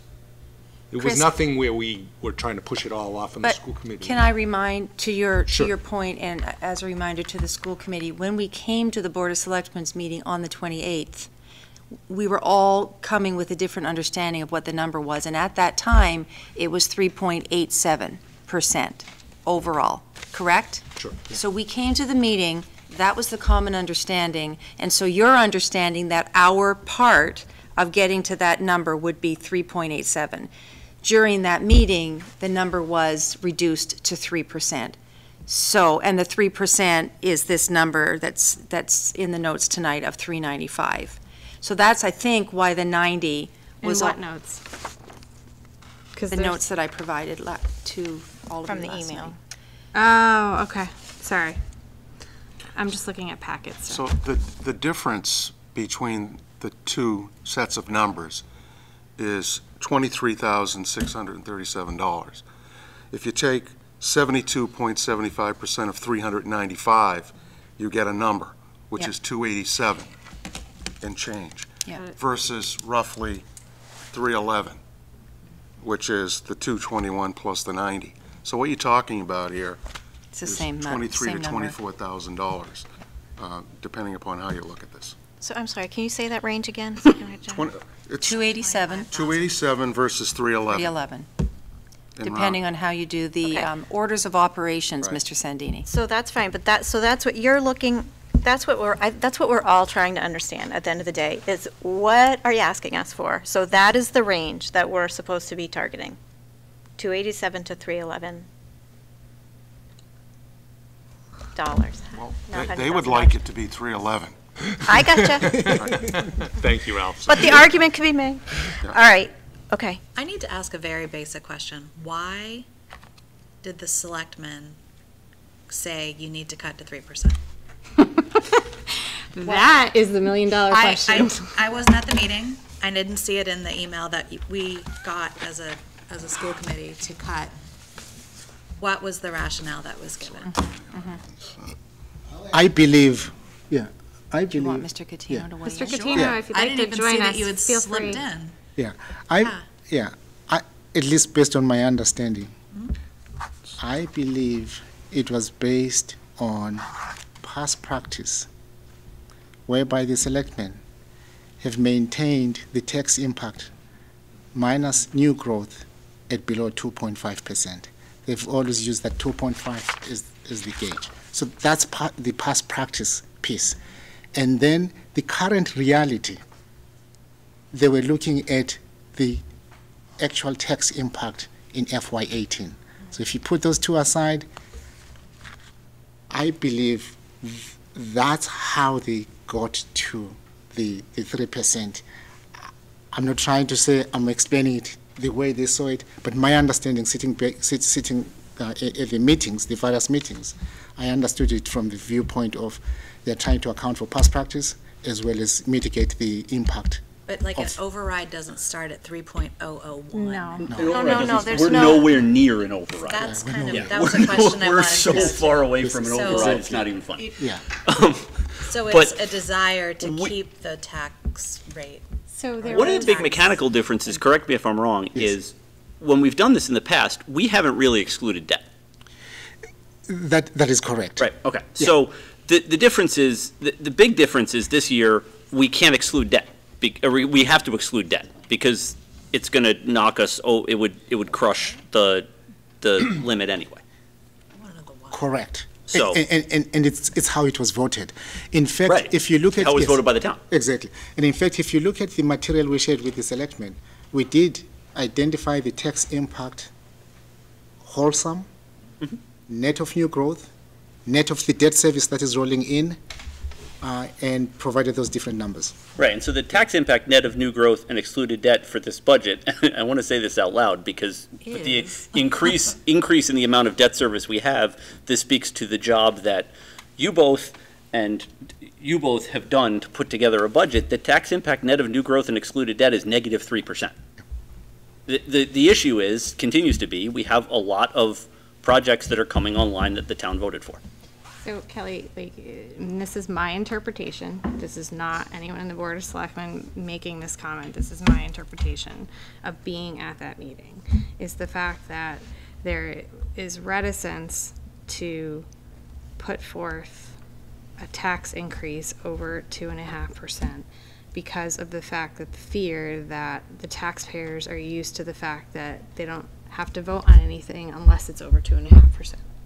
And so with the debt piece of it, putting it up to three point eight seven percent, it optically doesn't look great to the citizens of the town. My issue with it, and my issue remains with it, is the fact that all of the town voted on the projects that have forced the tax increase to this mm-hmm. height. And that if we are concerned about the continued spending, then we should allow the people to feel the pain of such spending. On top of the fact that no one agreed to such spending in the thought that we would be cutting services that were already being provided to the town. And so, what this feels like to me, as a person that went through a very careful budget process with the schools, is that we will be forced to cut services to the schools in order to meet an arbitrary number to make the town feel good about their tax increase. That's my personal opinion on it. Well, my opinion is that we have town meetings, so people hear how the budget was built, and they vote based on all the work that people have done. So I don't, I don't like the idea of the optical number driving instead of the, all the work that's gone into building the budget, and all the discussions, and all the meetings, and all the, Well, know, and the gives services that takes, the town's And the expecting. services. So, Yeah, this I makes mean- me very uncomfortable. I mean, I think, so, so, Mr. Khumalo, I understand that the point about, the- you made about the, the, the percentage allocation, right? I, I get that. It's sort of the controllable costs, right, that, that, that you're, you- that we're allocating. And I'm not suggesting that everything in, that there aren't things in the, in general government and other accounts that, that fit into this category too, but as we look at it, it- there are, there are large amounts of fixed costs in our budget that aren't movable. I mean, if you look at the actual expense side of our budget, it's, it's pretty minimal, and a lot of that is mandated special education costs. So, I mean, part of the, the challenge that, that I, when we sit here is, we, as, this is a broken record, right? We, we spent the time building a budget that this year in particular, knowing that this was a tough year, didn't have a lot of room in it. Um, I, I mean, I, want to thank you for your time and coming here and answering these questions and all the work you've done. You mentioned the out-of-cycle Board of Selectmen meetings. I, I'm particularly sensitive to when um, town administrators have to be here after hours. But I still have yet to be compelled, regardless of what the number is, that this isn't a really, really good-looking budget considering what we've got facing us with the town. And so I, I still sit here not compelled to make any changes. I mean, so my opinion, apart from this discussion, is that I think that, you know, in terms of the capital improvement requests that we made way back, I don't know, November timeframe, that there's certainly been changes in the status of some of those capital improvement projects that we as a committee may want to take up apart from any budget request to see if we still feel like these are viable projects for either this year, next year, or what have you. But I think that's a separate and apart discussion from what's being asked from the Board of Selectmen at this point. Um, I'm happy for us to include that on a future budget item if we, or, I'm sorry, a future agenda item if we'd like, but I, I feel the very, I feel the same way that Mr. Graziano does in terms of um, being compelled to make any changes in terms of our operating budget. Um, If there are indeed changes we make on the capital requests, we certainly will pass those along, but that's, that's my feeling on the matter at this point. So again, we didn't intend to- make any decisions tonight. We wanted to have the opportunity for open discussion at your meeting, as well as any questions that um, could be addressed by Mr. Khumalo, Mr. Sandini. Um, The only way we could meet this $311,000 without compromising some of the safety of upgrades that we need to make would be to make cuts from our operating budget, which would translate into cuts to existing services. Yeah. My- I- I mean, I do, I do think that I remember clearly at the, at the meeting, um, at least Mr. Herr was very clear on not cutting into, uh, not compromising any contractual obligations. So, you know, we have our, our contractual obligations with our staff, which are, what is it, always 86, 83% of our budget every year. 83. So it's a lot. We don't have a lot, you know, we- we're beating a dead horse. We don't have a lot of wiggle room, neither do you. We're all in the same boat. We get that. I mean, I, I really, you know, I I understand that we have a, a, members of us have a philosophical difference with members of the Board of Selectmen over something that's, you know, more in their purview than ours. However, it directly impacts what we are uh, tasked with doing, both by the state legislature as well as by the town, in terms of providing services for, for our students. So I absolutely, I know you're going through the same process. I absolutely think that we need to do our part, and we should take this up at our next meeting and absolutely go through our capital um, projects and see what we can do. I, I, you know, $311,000 is a lot um, to take just out of, not, not our capital projects, but specifically the ones that were allocated into pay-as-you-go, which again, I don't know how that happens. That's not a decision that we make, but it, it's also not something that, it, it restricts what, what our, what our ability is to get to a number, because we don't, we don't get to pick for, from our entire basket, basically. Um, So that said, you know, I don't want anyone, I, I, I'm sure, I feel very strongly that we need to do our part, and we will, ab- we'll absolutely make our best effort to do that. Um, It's been really helpful to get questions answered tonight directly um, in terms of what impacts are going forward from numbers and, and um, what the numbers, an explanation of how the allocations were and, and all of that. Um, So that's helpful in terms of making that decision, but, you know, as I said at the beginning, I think none of us are very comfortable looking at our operating budget. We'll have to really take a look at our, at our capital um, articles. And we have a list of what's in pay-as-you-go versus what's debt excluded right now, so we can be um, thoughtful about that when we're, when we're looking at that at our next meeting. Um, Well, the only one that's not on anybody's list is the Elmwood School Solution. It's in the, t- it's on the 10-year capital plan, but it's in neither pay-as-you-go nor. I thought it was on the debt exclusion list. I think It's on the it's- debt exclusion Oh, list. it is? Yeah, I think it it- is. It's on the but debt it- exclusion. I just took a Because we were peek and arguing missed over the 300 versus 600. Yeah, we got to fix the number, but it's on the debt exclusion It's list. fixed. You just don't have the updated. Okay, thank you. And that's a debt excluded, so A, we're probably not taking it off, and B, if we did, that's a small amount because it's debt excluded. It's not, that's not a Not swing even a that's small amount, helpful. it's a nothing amount. It's not, well, Yeah. we wouldn't actually start the borrowing anyways. We're not, we're not We're gonna start gonna get- borrowing on that in FY eighteen. Yeah. So that doesn't, that one particularly doesn't help, basically, right? So, thank you both. I appreciate your time. Sure. I know that you're sick of seeing some of our faces, so I appreciate it. And definitely for probably answering the the last question. time, though, I'm so. speaking personally, because I think he's, they've seen more of me than anyone else, but, Yeah. um, but thank you again, because I know that it's a late hour and, and it's somewhat of a repetitive questions, but I think there, it helps the confusion level to drop a bit, so thank you. No, also, thanks, Kathy. Thanks to the committee for giving us the opportunity to come and engage with you on this very important topic. We, I do understand that this is a very um, challenging situation we find ourselves in.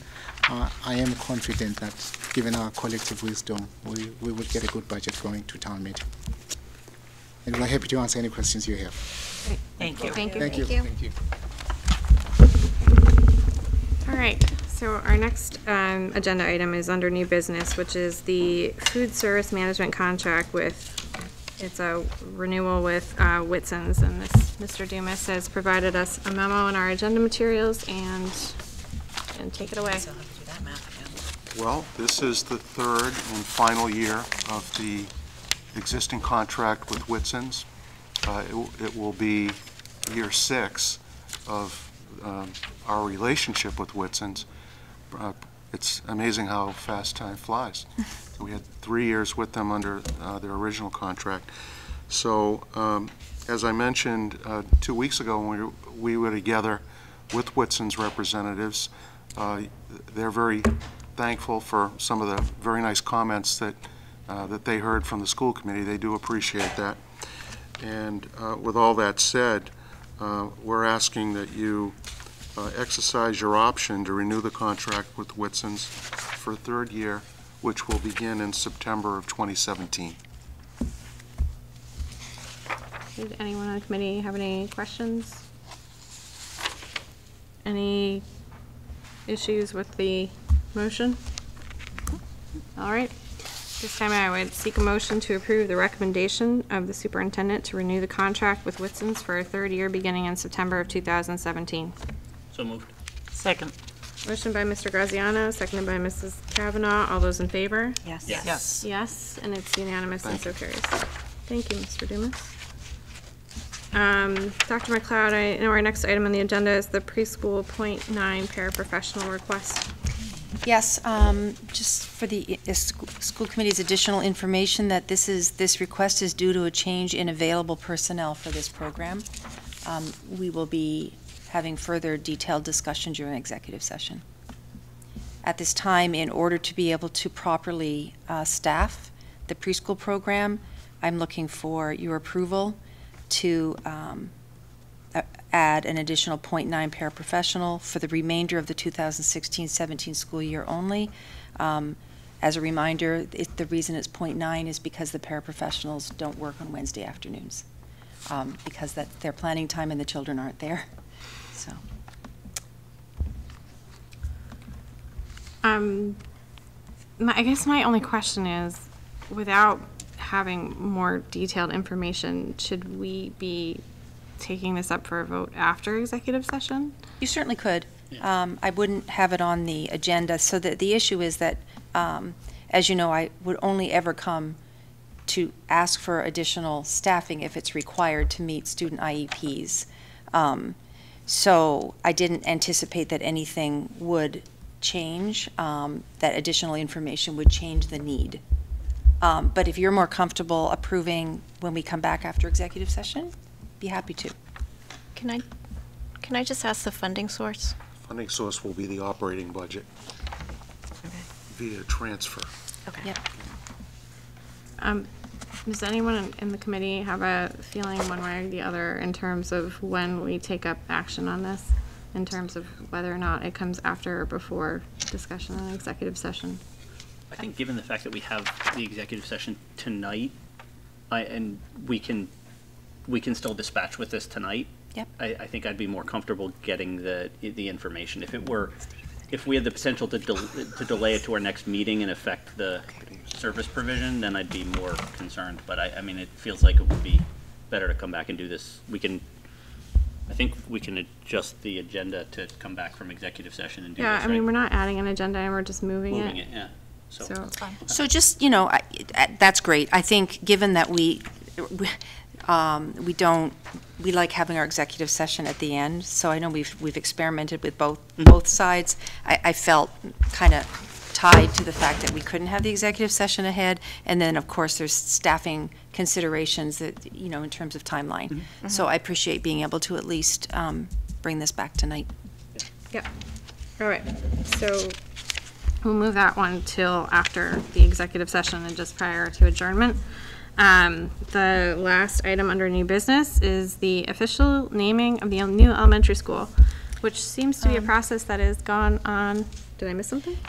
If you did not, if I could just, could add? Sure. Just that was brought to my attention today, um, that it's important to acknowledge the holder of the property being the Board of Selectmen, and that the naming is effective when the school committee takes control. But we understand that through the work with the ESBC, we can't, can't wait to open a sc- an unnamed school. Um, But I, I was asked to acknowledge that, you know, this is a process that we've followed through our policy to the letter and then added on in terms of communication. Um, But just to acknowledge that it's not officially our property yet. So for whatever that adds to the discussion, I wanted to bring that to your attention. Does that prevent us from ordering a sign? It does not. Which is what, why we originally brought this. Great. Okay. Um, so, uh, the official naming of the new elementary school building, which we have been talking about for quite some time, probably actually even longer than we were talking about hiring of a new finance director. Um, Ralph's been talking about that for a long time.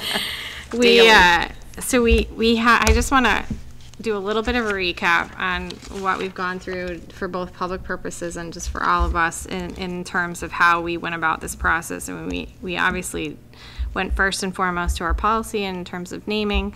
Um, we requested, on two different occasions, we publicly requested that naming um, suggestions be sent to Dr. McLeod and myself. Um, the first, the first uh, attempt at it didn't receive as many as we had hoped, so we extended it and went out and publicized more. And actually, we were welcomed with, I believe, over 40 submissions of uh, names for the new building. Um, the next step for the committee at that point was we met in a public meeting where we actually had public um, attendance, um, sometimes more than we have at our regular school committee meetings, prior to special town meeting on January 29th to narrow the list down. And I can't remember if it was down to 10 or 11. I feel like it was 11 for Hmm. some reason. Mhm. Um, and Sounds right. the committee as a whole felt such a deep responsibility for community input on the names and um, that we decided to add to our process and send the, that vetted down list out to the community for a survey, which uh, garnered over 3,000 responses, which I'd like to point out is more than tend to attend the town elections each year. So I would say we actually got far more responses, almost double than what we see in our town elections, which was fabulous. Um, in that process of sending out the survey, we also acknowledged the fact that not everyone had computer access, so we provided paper ballots in various areas around town and counted those votes as well. Uh, Dr. McLeod at our last meeting made her recommendation, which was for Marathon Elementary School. Um, and the thought process behind that was that it's a preschool to first grade building. The marathon's moniker is it all starts here. That it all starts here also aptly applies to that school. Um, and in coincidentally enough, it was the highest ranked name in our survey as well. So that is where we are. We've received our recommendation. This is our time for, we, none of us have deliberated on this yet. So this is our opportunity to discuss if we had other feelings on how the name should be, whether or not we decide to go forward with Dr. McLeod's recommendation, or if other committee members would like to state their opinion on where we should go in regards to this um, very important decision. I was moved by the number of people that participated in the overwhelming support for the name, which Dr. McLeod also advanced forward to recommend um, of Marathon, that that seems like a, a- an acknowledgement of the work that went into it and the careful consideration of what would be meaningful to the students. I was just, I was personally hoping for one of the really strong women educators that were put forward. Just, I'm disappointed in that, but I totally respect the process. I think we did everything by the letter, by the books. I think the, the public has spoken, and it's not up to me to impose my own personal hope on top of somebody's um, perfectly executed process, so I applaud the execution of the, the way that this came down, so. Yeah, I just, I want to thank you for all the work that you did on this. We, we absolutely made this um, a meatier and more time-consuming process than was required, but I really think that um, that was a very valuable process to go through. Everywhere I go in town, people are appreciative that they had the opportunity not only to, to nominate their own names, but to vote, and the turnout of the vote speaks for itself. But even out of town, I was at a meeting out of town today, and someone was asking me about it, and people in other towns were like, "You got to, you, you got to vote. Like, we named a school. I don't know. They just picked the name of the principal. Like, I, I didn't get to vote. You know, so I, it just really struck me. I, I mean, we really, obviously, everybody isn't going to get their first choice on this, but, um, but I think that there is. I, I don't know. I think the universe has reinforced us, right? So the the the theme that seemed to fit that age group of students, the the name that feels most accessible um, in terms of what their world is to that age group of students, and the most popular choice of the overwhelming number of people that voted, just all came together and pointed us in the in the same direction. So I think that's great validation. I I think, um, so again, I would speak, I think we, we had a great process, a really thorough process. We got a tremendous amount of, of community input and, and it reinforces, again, you know, it, it's, it's, it's one of the more daunting tasks when you think about it because the school this is replacing is almost hundred years old. And so this, this name could, could be there for a while, one would hope. Um, and so it, it- it just reinforces, not only the, the wonderful sort of double meaning of it all starts here, but how woven into the fabric of the town the marathon is. And, and I was actually sitting, uh, the, the, eating breakfast this morning with WBZ on, and all of a sudden I, I hear the beginning of their marathon commercial this year, and the first thing it says is the day when, when it's not just Main Street in Hopkinton is the first thing you hear on the commercial. So um, I, I think it's fitting that, that we connect this um, this building to that piece of, of culture in our town. So I think it's, um, and I think the townspeople clearly feel that way too. So I'm excited to support it. Um, so Kelly, it's funny that you mentioned the disappointment on uh, one of the women names not being a clear winner. Um, I do actually, interestingly enough, think that had someone recommended the name that Mrs. Wright had recommended and people had knew more about the biography that may have actually been a contender. My issue actually with the amount of names we received is that I felt very torn in picking any one person above another because everyone's contributions were very remarkable and humbling um, in terms of their volunteerism, um, their zest for education, their love of children, and, and very pointedly, their love of the town. So my difficulty in it was both, another very, very convincing argument to me was what would the kids like to use and and having a child that's at center school right now um, and his pride in telling people that he's at center school and knowing that i will actually have a child at this school um, and what they would be able to say to people when asked what school they go to um, that actually is one of the most convincing arguments to me here um, so that that is also why I, I felt the way I did. Um, but I hadn't that hadn't been in mind initially. Um, but then when you actually think about who's using that name and uh, ascribing meaning to it, it's not the adults in the community. It's definitely the little ones that are there. Um, so, and for that reason, I, I also agreed with the recommendation. So, um, all right. Well, we've definitely all been able to voice our opinion, and um, I feel like for a second we should have like a drum roll for this one. Well, I- I'm- I'm just texting- texting Lauren DeBow. so I thought you were texting I thought you were finding us a drum roll app. No, we need an I'm being strangely reminded of Christmas Vacation and National Lampoons right now. I have to be honest. I thought you were going to text Colin Antonio so they start working on the sign. So before we can do any of that, I would seek a motion um, to um, approve the superintendent's recommendation regarding the naming of the new elementary school as Marathon Elementary School. So moved. Second. Motion by Mrs. Birchman, seconded by Mrs. Kavanaugh. All those in favor? Yes. Yes. Yes, and it's unanimous and so carries.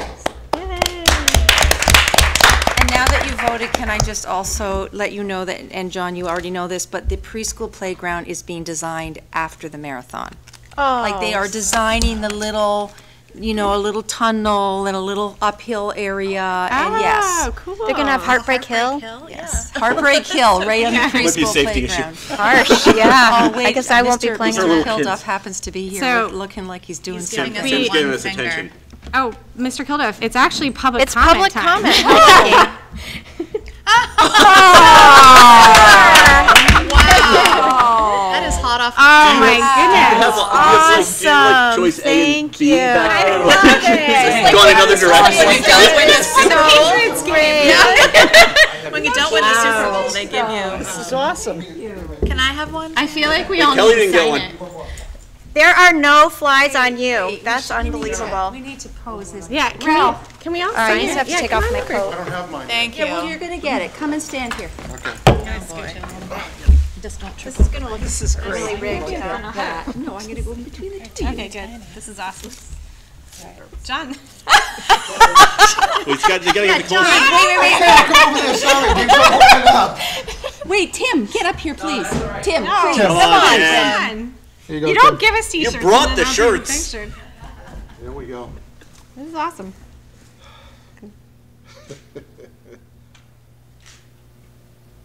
Awesome. All right. Thank you. Thank you so much. That was awesome. Thank you. What were we gonna do if this wasn't the name?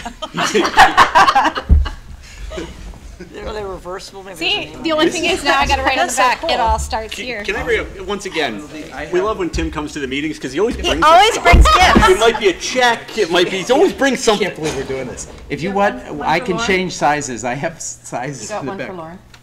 Oh, yeah. We were, we were wondering if they're reversible, if we had gone with a different, do you have an alternative on the No, back? I honestly Maybe they were we got to write on the Patriot, back. It all starts here. Super Bowl from a few years ago, That's right. like on the inside. Logos, you go to the side. Did you you- leave one here on the floor for somebody else? No. Thank you. That was very nice. Thank Thank you, you very much. Thank you. No, thank you. I, I hope you guys understand what you just did. This is, this is like a big deal. We're pretty psyched. It's a very big deal. Yay. All right. These, these t-shirts, the rest of these t-shirts are going to Athens and uh, Marathon, Greece tomorrow. I've got mine. Wow. Oh my gosh. We need to say that on the camera. Um, all right, well, we do have our next opportunity for public comment, but that just got. That's a hard act to follow. It Was a totally different type of public comment tonight, I think. We think. said we wanted to save the good stuff for the end of the meeting, so there you go. If you have presents. Um, all right, so there's no one here to speak on behalf of the public on anything else other than the T-shirts, which you all just saw. So we now can move to items by consensus, which I want to just double check that no one has anything they want to pull out of the items by consensus separately, because I always forget to ask that. Can I Um, just- sorry. Then, Dr. McLeod. Jean? I just have a question. So I think that the minutes are as amended, right? You changed them? That was the January minutes. They're not in here. They're an executive You asked us to change the January minutes? The public not- hearing minutes? Oh, we're not, that's It's not this? That's got bumped into the next one. Okay, Never mind. it's on the next one. Never mind. Yep. Okay. Um, all right, then, So the superintendent recommends the school committee move to approve the items by consensus as outlined below. So moved. Second. motion by Mr. Graziano, seconded by Mrs. Kavanaugh. All those in favor? Yes. Yes. Yes, and it's unanimous, and so carries.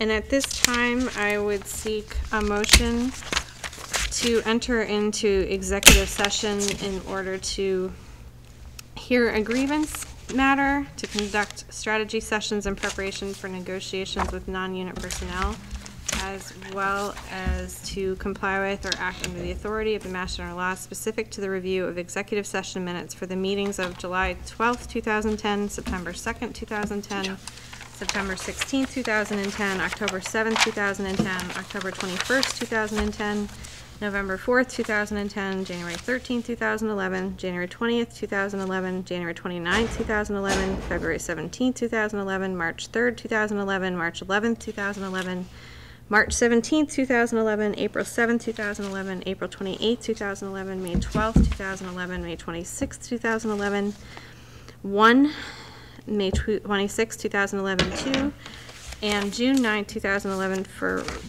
release, and then we'll be reconvening an open session to take up our matter of the preschool paraprofessional. So moved. All right. Uh, motion by Mrs. Birchman, seconded by Mrs. Kavanaugh, and this will be a roll call vote. Kelly? Yes. John? Yes. Nancy? Yes. Jean? Yes. And I am a yes, and it's unanimous, and we have entered into executive session. And at this time, I don't know if you'll be still here after the fact, so we will say goodbye to our public. And thank you for watching tonight. Do you want to go through the next meeting?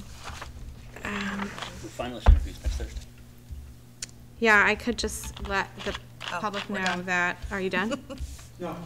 Um, that Thursday, March 23rd at 7 PM in the high school library will be a special meeting of the school committee in order to conduct the finalist interviews of the director of finance position. And then on Thursday, April 6th, 2017, we will have a 7 PM meeting, which will be our regular meeting here in the high school library. Our second regular meeting of the month will be April 13th at 7 PM, also here in the library. And then our first meeting in May will be May 11th, 2017 at 7 PM here in the library. Um, So we can enter into executive session. I assume we're going to the room. We are over- going over.